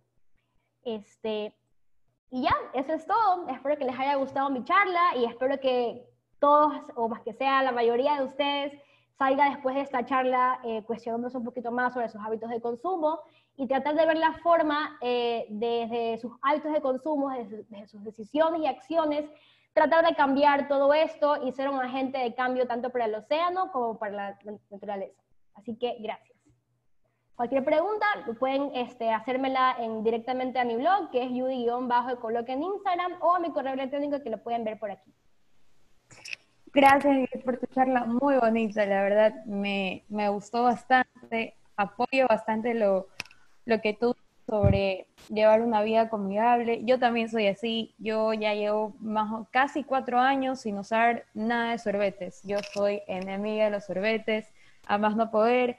Y, también, por ejemplo, a, mis amigos, a mi familia, siempre que están conmigo les digo eh, como que no usen sorbetes, como que no pidan cosas de plástico. Si tienes tu termo, como tú dices, este, puedo llevar mi termo con mi agua, tratar de, de no gastar o también reutilizar algo que, que, ya tienes en tu hogar para evitar gastar, evitar contaminar y todo. Y, y esto yo creo que es muy importante eh, dar a conocer a las personas porque como ayer tuvimos la charla de lo de los microplásticos, es un tema que, que está afectando mucho en estos tiempos, ya que está ocasionando una contaminación muy grande en los océanos, en las calles, en todos lados, y es muy importante que, que las personas puedan llevar esta vida eh, ecoamigable, de zero waste, eh, tratar de evitar el, el, el, uso de plástico o implementar más el reciclaje en, en los hogares, en, en, la vida diaria de las personas. Entonces, mira, justo ahorita voy a, déjame compartir la pantalla, que tenemos, nos hicieron unas preguntas, un ratito, ya, nos hicieron unas tres preguntas, e igual, como tú pusiste tus redes sociales, si los chicos tienen eh, más preguntas, eh, se pueden contactar contigo para, para poder seguir haciendo las preguntas. Mira, eh, la primera pregunta que tenemos es cómo podemos ser más empáticos a la hora de expresar nuestras ideas para aconsejar a alguien que no tiene hábitos ecoamigables. Como les dije, yo al principio me ponía súper enojada y realmente eh, hay que buscar eh, la forma, ¿no? Como lo hice la pregunta, ser más empáticos. Como les digo, eh, no atacar, no retar, porque de esta forma eh, la persona no lo va a entender y lo va a tomar de una forma negativa, sino que primero explicarle, como que mira, hey, ¿sabes que esta botella de plástico va a durar toda la vida? ¿Sabes que no se va a biodegradar? Explicarle el problema, ¿ok? y luego de explicarle de una buena forma con, con el objetivo de, de querer concientizar a la persona, darle una alternativa. Como que, mira, ¿por qué no te compras un termo? O sabes qué, yo tengo un termo extra en mi casa, así que se lo puedo regalar.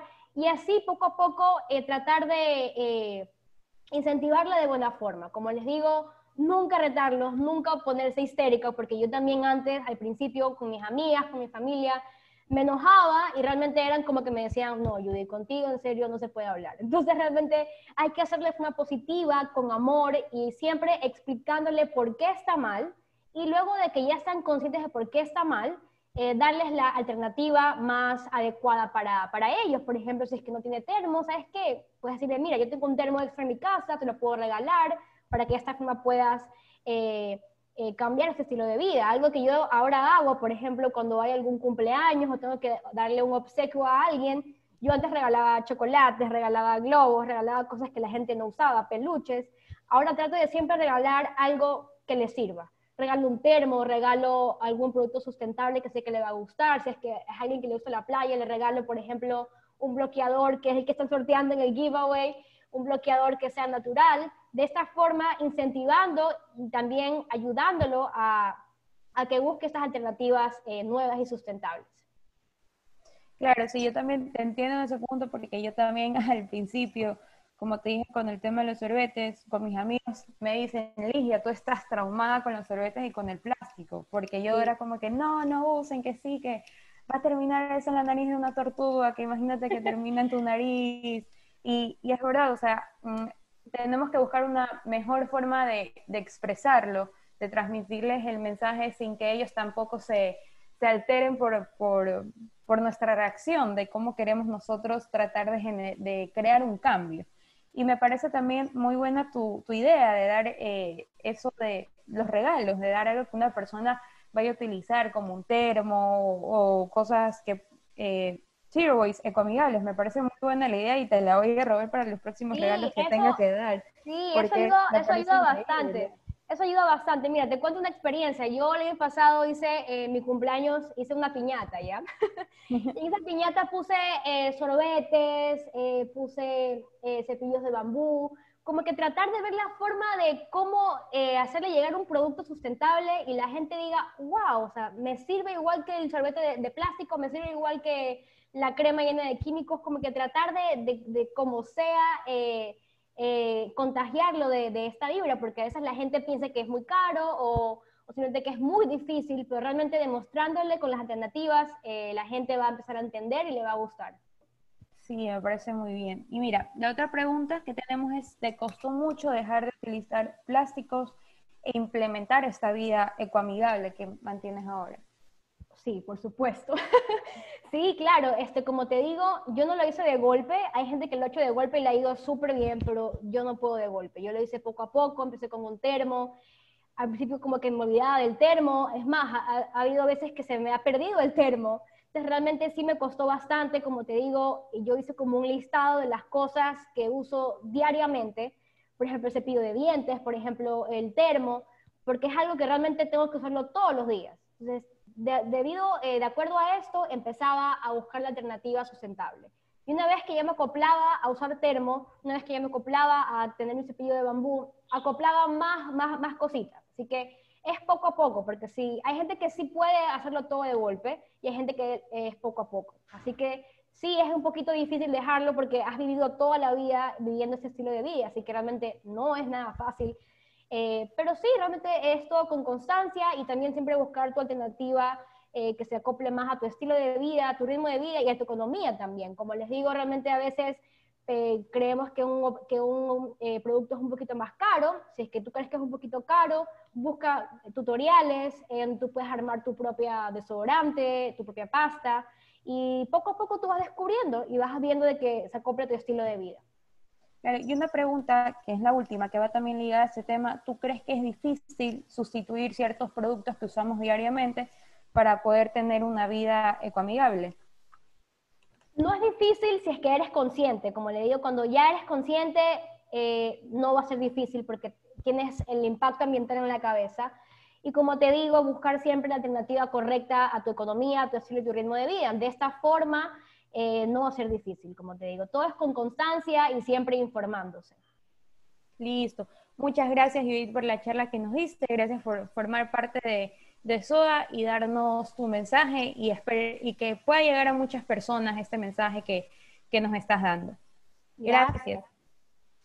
Bueno chicos, les quería recordar, como dijo Yanis al principio, que tenemos el, apoyo de la Escuela de Buceo Bioélite, que a todos los asistentes que se encuentren en la charla serán acreedores al 30% de descuento en un curso de buceo y también en el giveaway del día de mañana eh, se sorteará una máscara de buceo.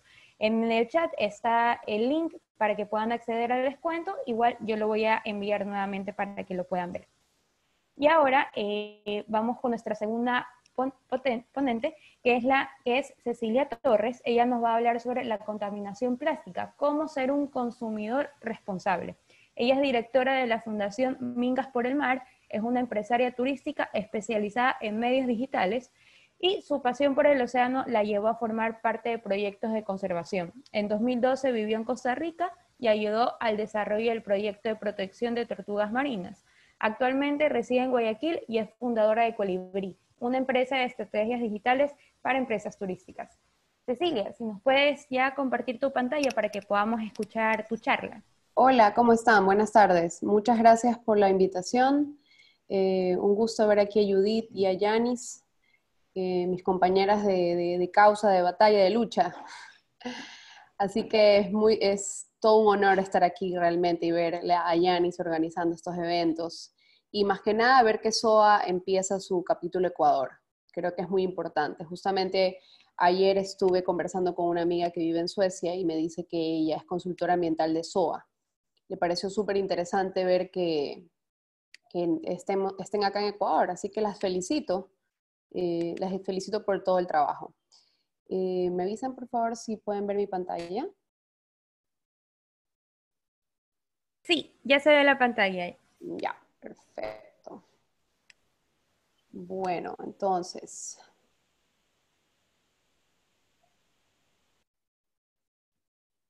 Listo, el día de hoy yo les quiero conversar sobre algo bastante importante en estos tiempos de pandemia en el que el consumismo parecía que había bajado y parece que ha aumentado en el sentido de comprar productos sobreempacados y, olvidarse del impacto realmente que tiene el humano en, los ecosistemas y en el planeta en general.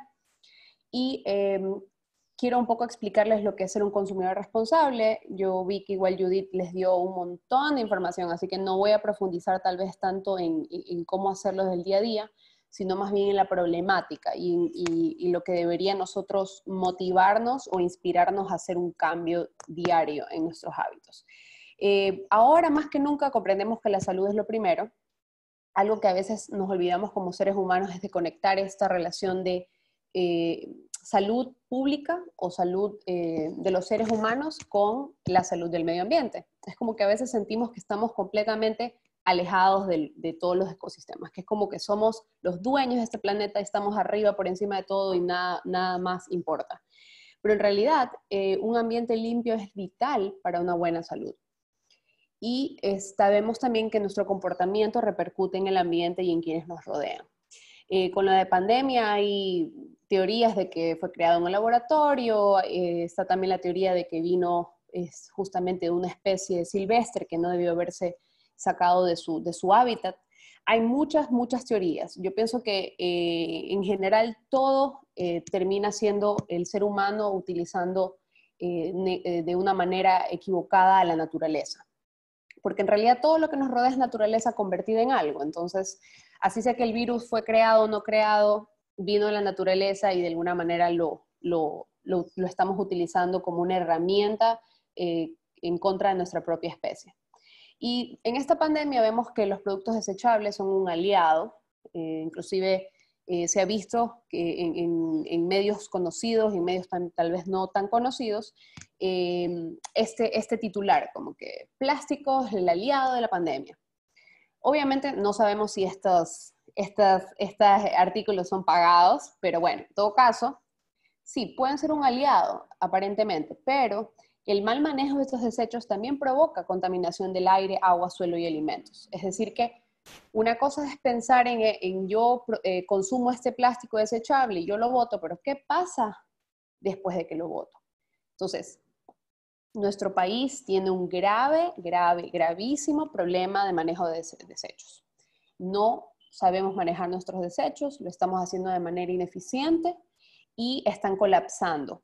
Eh, de hecho, eh, no sé si se enteraron en Quito, ni siquiera botadero, sino relleno sanitario de Quito ya está a punto de colapsar. Y si llegara a suceder eso, eh, todos esos lixiviados van a ir por el río hasta llegar inclusive a la costa de Esmeraldas. Entonces, eh, estamos todos conectados y lamentablemente la mayoría de los municipios tienen esto que vemos en esta imagen, que es un botadero hacia el abierto. Hasta se ve en la mitad un perrito, nunca falta el perrito ahí, parado en la mitad del tanta basura porque en realidad esta es una imagen real de lo que está pasando en los botaderos hacia el abierto del país. Eh, nosotros hemos tenido la oportunidad de estar en botaderos de la costa. Personalmente nunca he estado en uno de la sierra, pero tengo entendido que es igual, solo que hace frío. Eh, se ven animales que están tratando de, comer entre los escombros, se ven personas trabajando en, el peor estado posible, es derechos humanos 0%, porque están ahí escarbando a ver qué sacan para poder reciclar o vender. Y aves marinas, muchas veces estos botaderos están cerca del mar. Estoy hablando que tal vez un kilómetro, dependiendo. Inclusive hay unos que están, se puede ver, inclusive tenemos tomas aéreas en las que se muestra que los botaderos están muy cerca de la costa. Entonces, em, lamentablemente el, el cierre técnico de estos botaderos se debió haber hecho hace mucho tiempo pero no se ha hecho por falta de fondos, falta de interés público, eh, interés político y más que nada porque siempre hay algo más importante que eso. Pero es hasta que esto colapse y empecemos a tener ya eh, enfermedades y, problemas más serios, de, más de crisis de salud. Y bueno, ¿qué hacemos nosotros con, con Migas por el Mar? Esperemos un ratito.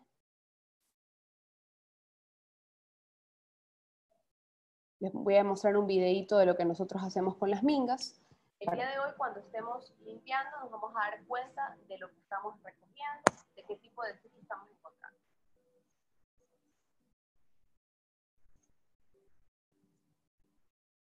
Eh, mucha de la gente que va a las limpiezas de playa, sobre todo cuando son, por ejemplo, voluntariado empresarial, que tienen esta intención de ir y ayudar, pero no tienen una idea real de lo que está pasando. Y muchas veces es su primera toma de contacto con la problemática de, la polución marina por plástico. Y es cuando se dan cuenta de que todo lo que encuentras en las mingas lo usas de una forma u otra y que tú eres responsable de, de generar eso. y también eres responsable de no generarlos si cambias tus hábitos.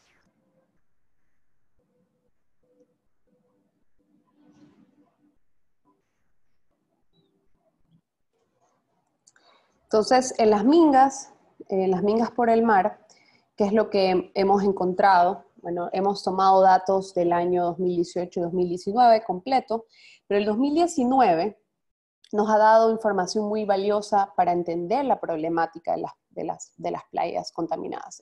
empezando porque eh, Mingas empezó con el tema de las playas de mar, o sea, playas de la costa, pero luego esto fue evolucionando y, y en el 2019 se hicieron limpiezas de río, limpiezas de lagunas. Entonces aquí tenemos una visión bastante amplia de lo que está pasando con los espacios naturales en general.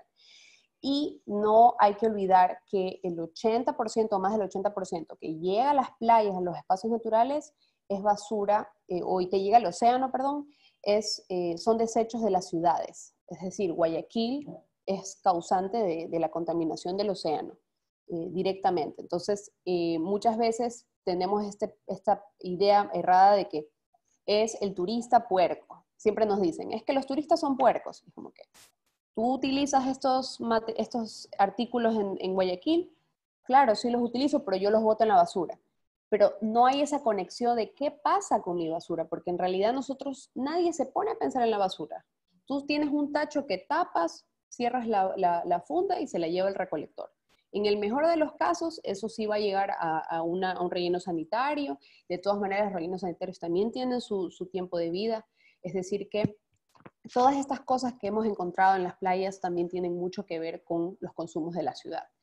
Y eh, según las estadísticas, el 87, 86% de lo que hemos encontrado son plásticos de diferentes tipos.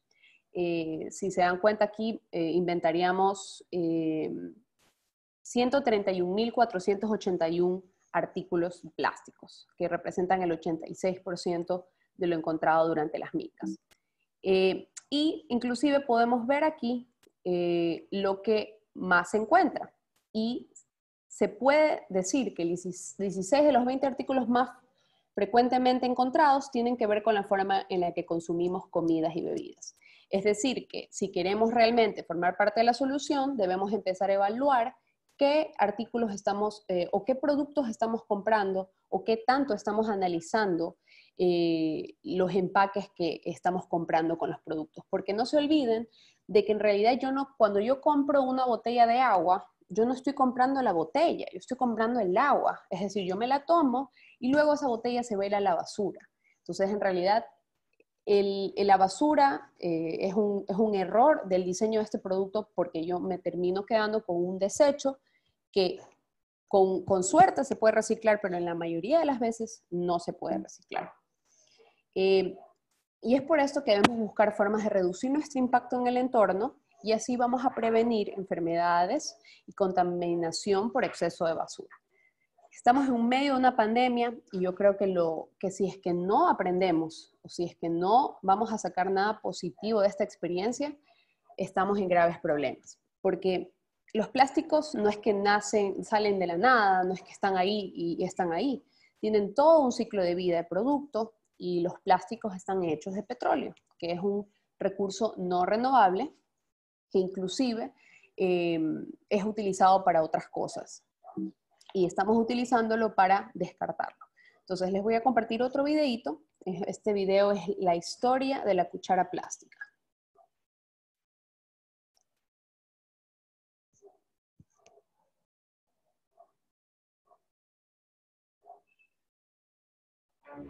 $4.500 millones de años atrás, una nube molecular gigante explota en el espacio, liberando una nebulosa protozoal, de la cual nace mi planeta, la Tierra. Durante 2.000 millones de años este planeta evoluciona y aparece la primera forma de vida. Un puñado de células, bacterias, algas, hongos, miles de plantas cobran vida. Los peces y las plantas reinan en los océanos, absorben la luz solar y almacenan en sus cuerpos. Dinosaurios, anfibios, reptiles, aves, mamíferos, todos viven y mueren. Y cada año los residuos cubren sus cuerpos con capas y capas. El calor y la presión aumenta convirtiendo en un líquido amarillo y negro, el petróleo, Llegan los humanos y con ellos geólogos estudian durante años para encontrar el petróleo. y construyen plataformas petrolíferas en lugares remotos. Bombas gigantes extraen el líquido y envían alrededor del mundo. Se abren refinerías y vuelven a viajar. Una fábrica combina los químicos y los convierte en bolitas de plástico, guardándoles en contenedores gigantes. Vuelven a viajar por todo el mundo. Convertidos en líquidos, se moldean una magnífica cuchara. La cuchara cae y se enfría hasta endurecer. Se envuelve en plástico, se coloca en cajas. La caja se pone en un palet y el palet en un contenedor y el contenedor en un camión. Y el camión se conduce hasta un puerto donde se coloca un barco. Y viaja, viaja, la cuchara recorre 6.000 kilómetros por todo el mundo, donde lo recoge un comerciante que lo coloca en un camión, que conduce hasta una tienda, donde coloca la cuchara en una estantería, en una habitación con la temperatura controlada, hasta que la compras y pagas por ella, con el dinero que ganaste trabajando duro, y te llevas la cuchara a casa, que es donde estás ahora mismo, con la cuchara en la mano. Y ahora dime, ¿todavía crees que es mucho esfuerzo usar una cuchara de metal solo porque tienes que lavar?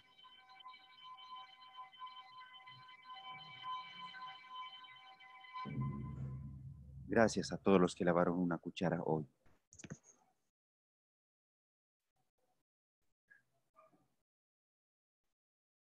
Y bueno, gracias a todos los que lavaron una cuchara hoy.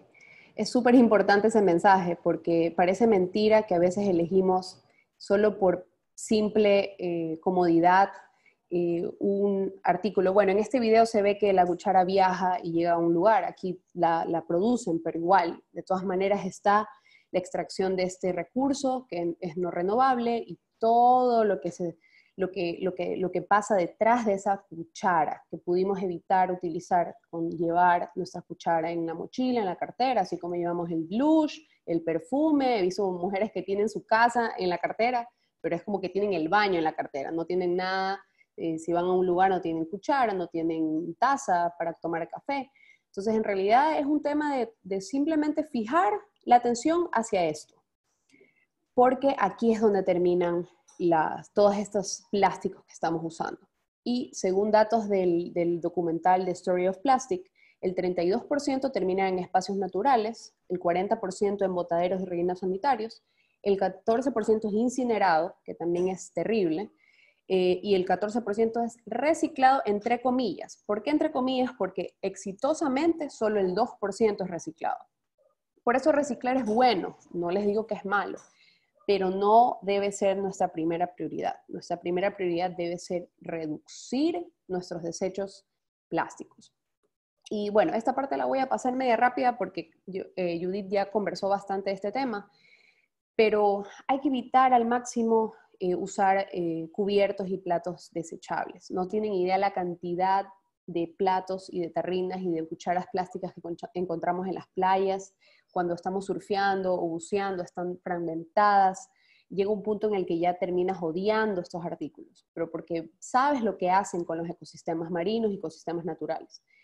Eh, el tema de la reducción de desperdicio de, comida también es súper importante y si se dan cuenta, todo está ligado a qué tan, qué tan inteligente soy al tomar decisiones. Porque tal vez yo compro mucha comida y se me daña, pero si yo planifico o como dice Judith, yo hago mis productos, en vez de comprar una salsa hecha, la hago. Es decir, es cuestión de planificar. Es verdad que en esta vida este, contemporánea, rápida, a veces no tenemos tiempo ni para comer, pero en realidad eh, es posible.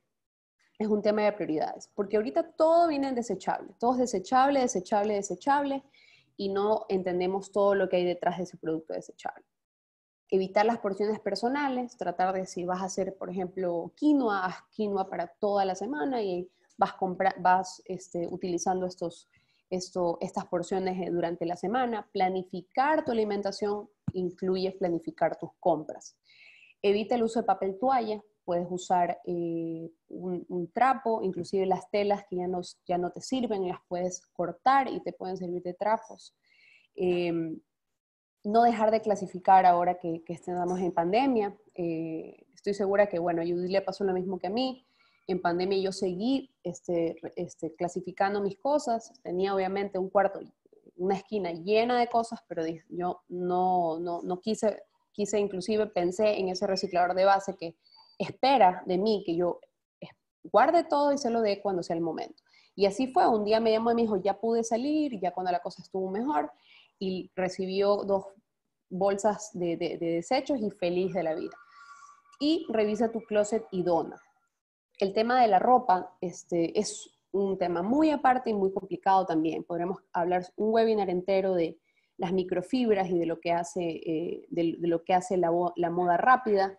Estas, estas prendas que son súper baratas, pero que en realidad son de poliéster o, botan un montón de fibras, microfibras, cuando en realidad ya hay tiendas en Ecuador muy buenas de, ropa de segunda mano, con cosas muy lindas, eh, muy, muy a la moda, unas retro, o sea, en realidad hay cada vez, en realidad en Ecuador hay más opciones eh, para poder evitar comprar estas eh, prendas de ropa que tal vez las hicieron en, en qué sé yo, Pakistán o, no sé, en cualquier lugar, en una fábrica en la que ni siquiera sabes qué le pasa a esa gente, cuánto le pagan, y en realidad la lavas dos veces y se te hace un hueco porque están hechas para que las uses unas cuantas veces y las botes, porque igual es una moda del descarte no deja de ser una moda del descarte.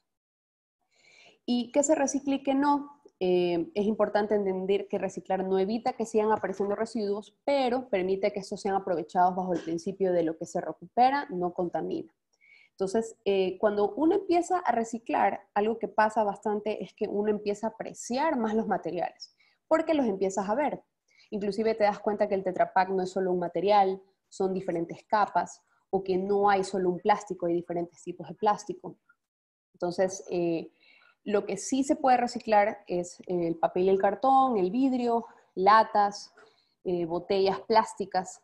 Eso sí, reciclar no es fácil. ¿Por qué les digo que no es fácil? Porque no es algo de que yo eh, clasifico, dejo afuera y alguien me lo recoge. Sea, siempre he pensado que en Ecuador el que recicla es que realmente tiene ganas de reciclar, porque el Estado no le ha dado la importancia necesaria para que tengamos un sistema eficiente de recolección de estos desechos. Entonces, lo que yo les recomiendo es identifiquen a un reciclador de base en, su calle, lo han de ver pasar por ahí con un, triciclo, con un camioncito o lo que sea, preguntarle si es que eh, es reciclador, si te dice que sí, tomarle el número y eh, conectar con este reciclador de base, generar una relación de trabajo con esta persona. Mi reciclador de base es mi amigo, o sea, yo a veces le mando una foto, le digo, eso se recicla, me dice, no, eso no me lo aceptan. Llegué a darme cuenta de que hay cosas que se llevan los recicladores de base y que para otras cosas yo tengo un gestor que me pasa recogiendo las cosas. Eh, igual si es que están interesados en tener más información sobre esto a nivel Ecuador, porque sé que igual SOA es eh, también regional y me imagino que hay personas de otros países, pero aquí en Ecuador y en Guayaquil específicamente hay muchas opciones para reciclar y sí se puede hacer. Entonces, esto que les muestro aquí, que es papel, cartón, plásticos, este, botellas de bebidas, fundas sin tintes, envases de aseo personal, eh, plástico film, etcétera, eso de ahí sí se puede reciclar y también las latas, las lavan y las guardan y eso de ahí es un material súper reciclable, al igual que el vidrio. Eh, cuando se dan cuenta de que todo esto se puede reciclar, inclusive empiezas a darte cuenta de que es mejor no consumir aquellos productos que no se van a poder reciclar. Entonces ahí te das cuenta que la funda de cachito, que de papita y esas cosas, además de ser muy malas para tu salud, te dan un desecho que no lo vas a poder reciclar. Va a ser muy complicado. Em, lo que no podemos reciclar, el papel y el cartón de la caja de huevos, por ejemplo, eh, los que está húmedo o con restos de comida, eh, papel higiénico ya eh, utilizado, papel celofán, crepé y madera. Y en vidrio, lo que normalmente no recogen, digo normalmente porque sí hay gestores que a veces recogen ciertas cosas y otros que no. espejos, vidrios estemplados, focos, parabrisas, envases con productos químicos. Y aquí vemos los plásticos, los vasos, tarrinas, cubiertos, todas estas cosas que fueron hechas para que una, una persona las utilice 10 minutos, 20 minutos y las bote. Porque por más que a veces tú tratas de limpiar una cuchara plástica, se queda con la grasa, o sea, está, es un material súper poroso, no te deja, no te permite volver a utilizarla. Además que si luego, por último, la hierves para que se pueda reutilizar, estás igual contaminando tus alimentos porque el plástico es químico. Entonces, eh, eso de ahí es bien importante. He visto muchas personas que dicen, ah, pero yo, pero yo reutilizo mi botella de agua. Y es como que me tiembla el ojo de ver a las personas con la botella Guayaquil, una y media de la tarde, calor extremo canicular y la botella con el agua y eso es veneno prácticamente. O la típica taza de café que te dan en la peluquería, en, en la oficina del doctor, no sé qué, que no sé cuánto, que viene en el foam, que te lo dan con mucho cariño en el café, pero te están dando literalmente veneno en, eh, envasado, en, en, un vasito. Porque este, estos plásticos tienen muchos químicos y al tener un, un líquido o un alimento caliente, desprenden químicos que son muy, muy malos para la salud. Y bueno, tenemos lo, lamentablemente unos nuevos artículos de la nueva normalidad, que son las mascarillas y los guantes. Ya estamos encontrando en las limpiezas de playa en, Mingas por el Mar. Esta es de una, eh, de una fundación de Francia que se llama Operación Mar Limpio. Eh, esta fue tomada por mí cuando me estaba yendo a surfear en Punta Carnero. En la entrada, ahí estaba esta mascarilla a la orilla del mar. Y lamentablemente eh, no sabes qué hacer con esto, porque dices, no la voy a coger con la mano. normalmente, yo, por ejemplo, a veces en las mingas y casi todos los mingueros eh, ni usan guantes, pero ahora ya tenemos por obligación que usar guantes porque es imposible coger estos eh, desperdicios hospitalarios sin, sin, ninguna precaución. De hecho, hasta según nuestro protocolo de bioseguridad, tenemos que ponerle una funda aparte de un color diferente porque es considerado un residuo peligroso. Y nos han eh, dicho, tienes que usar estos, estos artículos y no nos han explicado cómo desecharlos, ni siquiera hay un protocolo de cómo gestionarlos y en esta limpieza de, fondo marino que hicieron en la, en la Riviera Francesa, ya se encontraron con todas estas cosas debajo del mar. Y lo más importante es entender que el plástico no nace en las perchas de supermercados, hay todo un proceso desde la extracción de combustibles fósiles como el petróleo y el gas natural. Eh, y eso significa que los impactos en la salud y el clima por la extracción y el transporte de petróleo y gas también forman parte del ciclo de vida del plástico sin contar con que hay muchos, muchas comunidades que han sufrido de temas de salud porque están cerca de estas plantas de extracción. Entonces, eh, inclusive hace poco, no me acuerdo si fue en la India, una, una planta explotó, tuvo una explosión, porque obviamente para hacer los plásticos tienen que usar químicos muchas veces que son muy inflamables. Entonces, una explosión, murió gente. Entonces, el ciclo de vida, hablando de la extracción y tal, pero aquí no estamos contando el tema del aspecto social, que también es importante. Y los botaderos en pandemia lamentablemente están recibiendo más, muchos más desechos y también los recicladores de base estuvieron meses sin poder recolectar los materiales y esto hizo que, a pesar de que hay muchas personas que no están yendo a la playa o no están yendo a espacios naturales, se siguen encontrando desechos, por desechos que vienen por corrientes eh, o, o porque simplemente hay personas que siguen yendo a las playas eh, esporádicamente y dejan sus desechos. Entonces, la pregunta es, ¿quieres formar parte del problema o quieres formar parte de la solución? Yo creo que ya igual Judith eh, profundizó más el tema de cómo ser parte de la solución.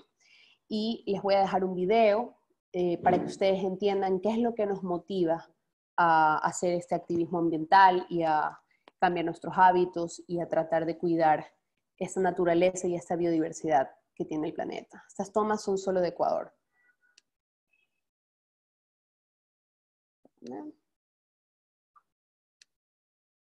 Sé por qué no sé. un segundito.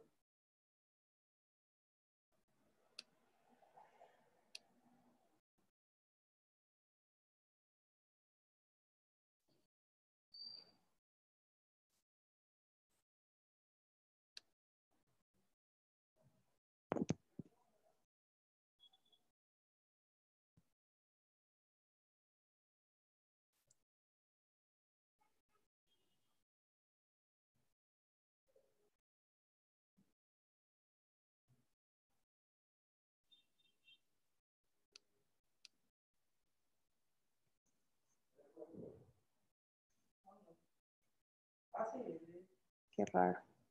Un segundito.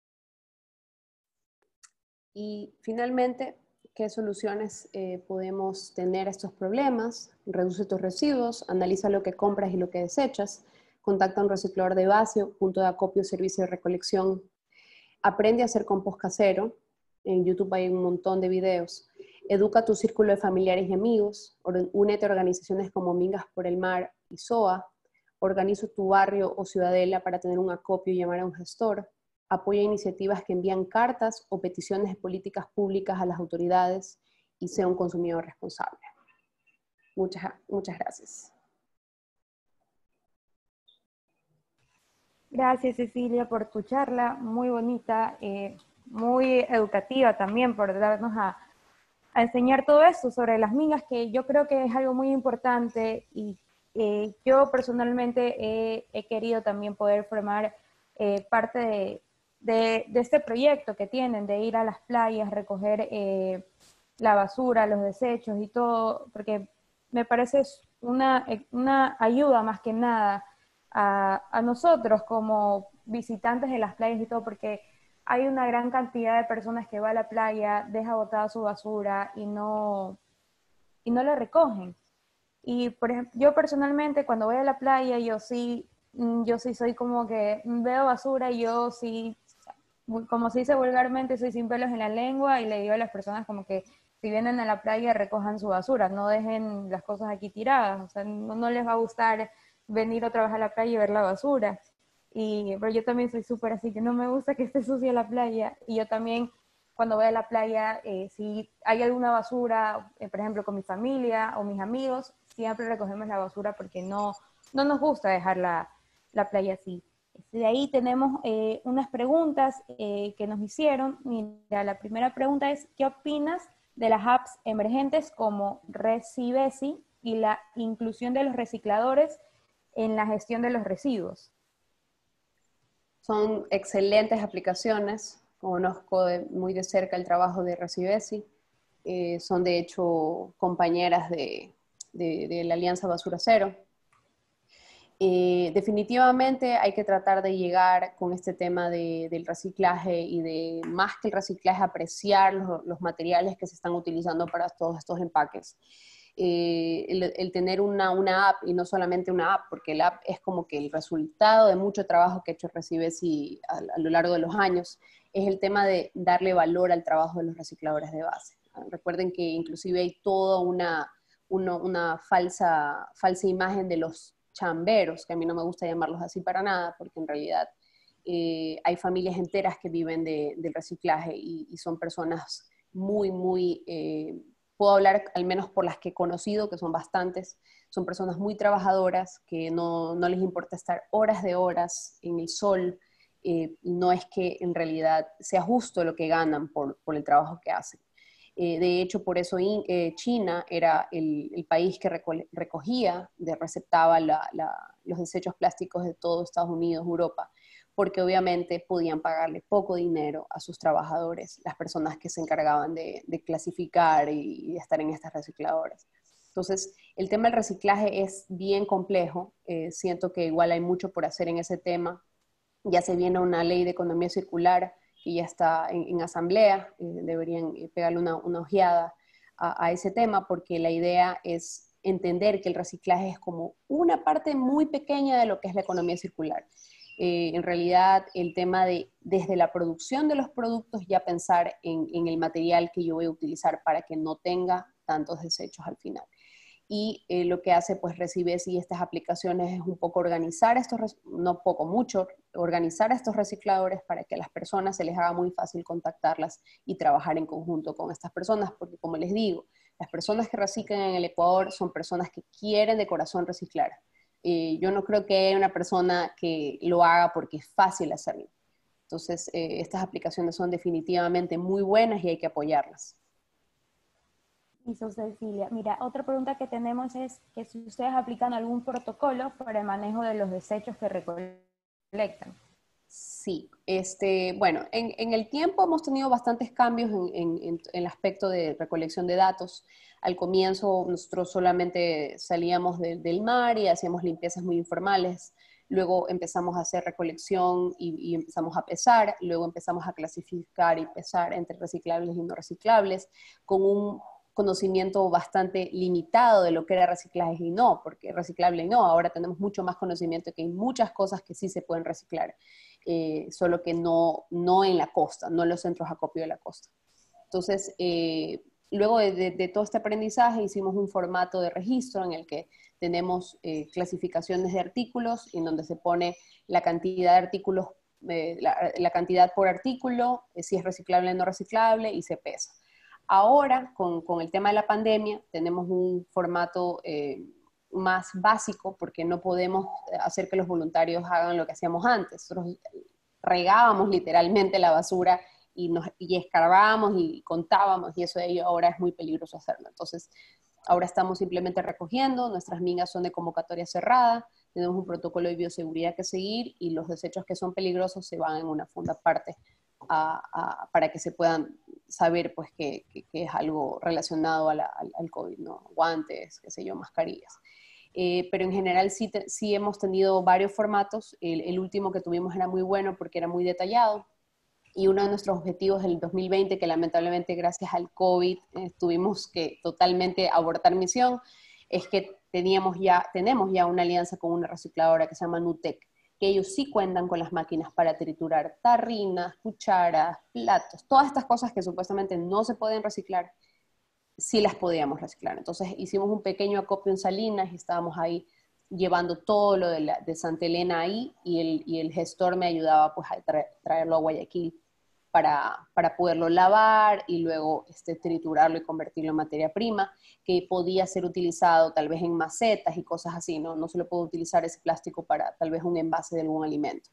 Entonces, eh, hemos ido aprendiendo con el tiempo y, esperamos que pronto poder retomar el, el, proyecto de recuperación de materiales. Listo. Ahí la última pregunta que tenemos es, ¿cuál es el impacto, el impacto del fast fashion, de, los nuevos, de lo que hay ahora que se está, que hay más en Guayaquil, que es lo de la ropa de segunda mano. Y no, no entendí muy bien la pregunta. Nos hicieron, eh, la pregunta es cuál es el impacto del fast fashion. El fast fashion se refiere a, ah, la ropa de, segunda mano. No, no es la, no, al contrario. No, perdón, disculpe, perdón la, la confusión. Sí, el fast fashion es, por ejemplo, a ver, no quiero dar marcas, eh, tengo tres marcas en mi cabeza, pero no las voy a decir.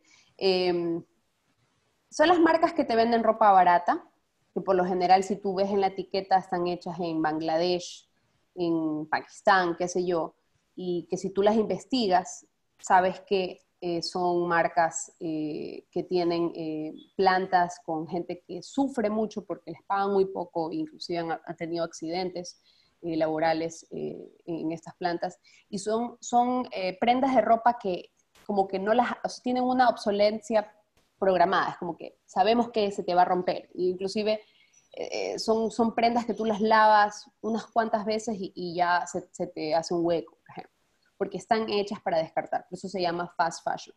Pero de ahí hay lo, lo, otro que se llama la moda circular, que es justamente esto darle la vuelta. Por ejemplo, si yo eh, tal vez ya no, este vestido lo usé no sé cuántas veces y tal vez Janice tiene un matri yo se lo doy y ella lo usa. O, si yo tengo varias prendas que, que, ya no las quiero usar y Janice tiene 10 prendas que tampoco quiero usar, hacemos un intercambio. Eh, eso se puede hacer también con muebles, eh, con, con, cosas del hogar. O sea, la idea es darle la vuelta a los productos, porque puede ser que yo ya no lo quiero usar, pero puede ser que otra persona lo encuentra valioso este producto o este, este artículo. Entonces, aquí en Guayaquil y en Quito, y, tengo entendido que en, Cuenca también, no sé si en otras partes, hay estas tiendas de segunda mano. Eh, hay varias, hay varias. De la que me acuerdo es mi amiga Paula Armarium, que queda en, el Alba Borja, pero hay varias, inclusive en internet hay muchas iniciativas que no tienen tienda física, pero tú les escribes y inclusive te mandan por Globo la, la prenda, tú la vas a recoger. Entonces, eh, esta es la, esta moda circular. Y no solamente de ese tipo, sino también hay cada vez más este, diseñadoras de moda que eh, empiezan a hacer nuevas prendas con telas eh, usadas.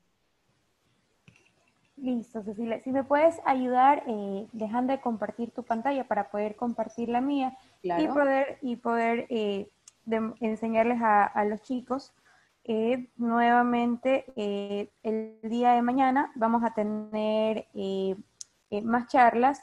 Vamos a tener la charla de soluciones que nacen de mujeres resilientes en comunidades costeras de Ecuador por Elizabeth Andrade y la campaña de acción tiburón y soluciones para la pesca incidental por Jeff LeBlanc.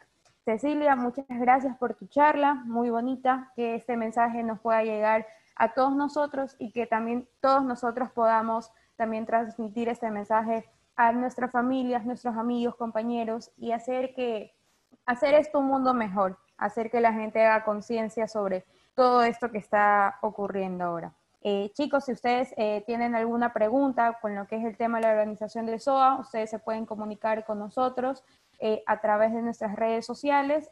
aquí están los correos, el Facebook y el Instagram. Y les voy a dejar un link del WhatsApp de SOA a nivel de Latinoamérica para que ustedes puedan estar al tanto de los eventos virtuales que se vayan a realizar por parte de SOA.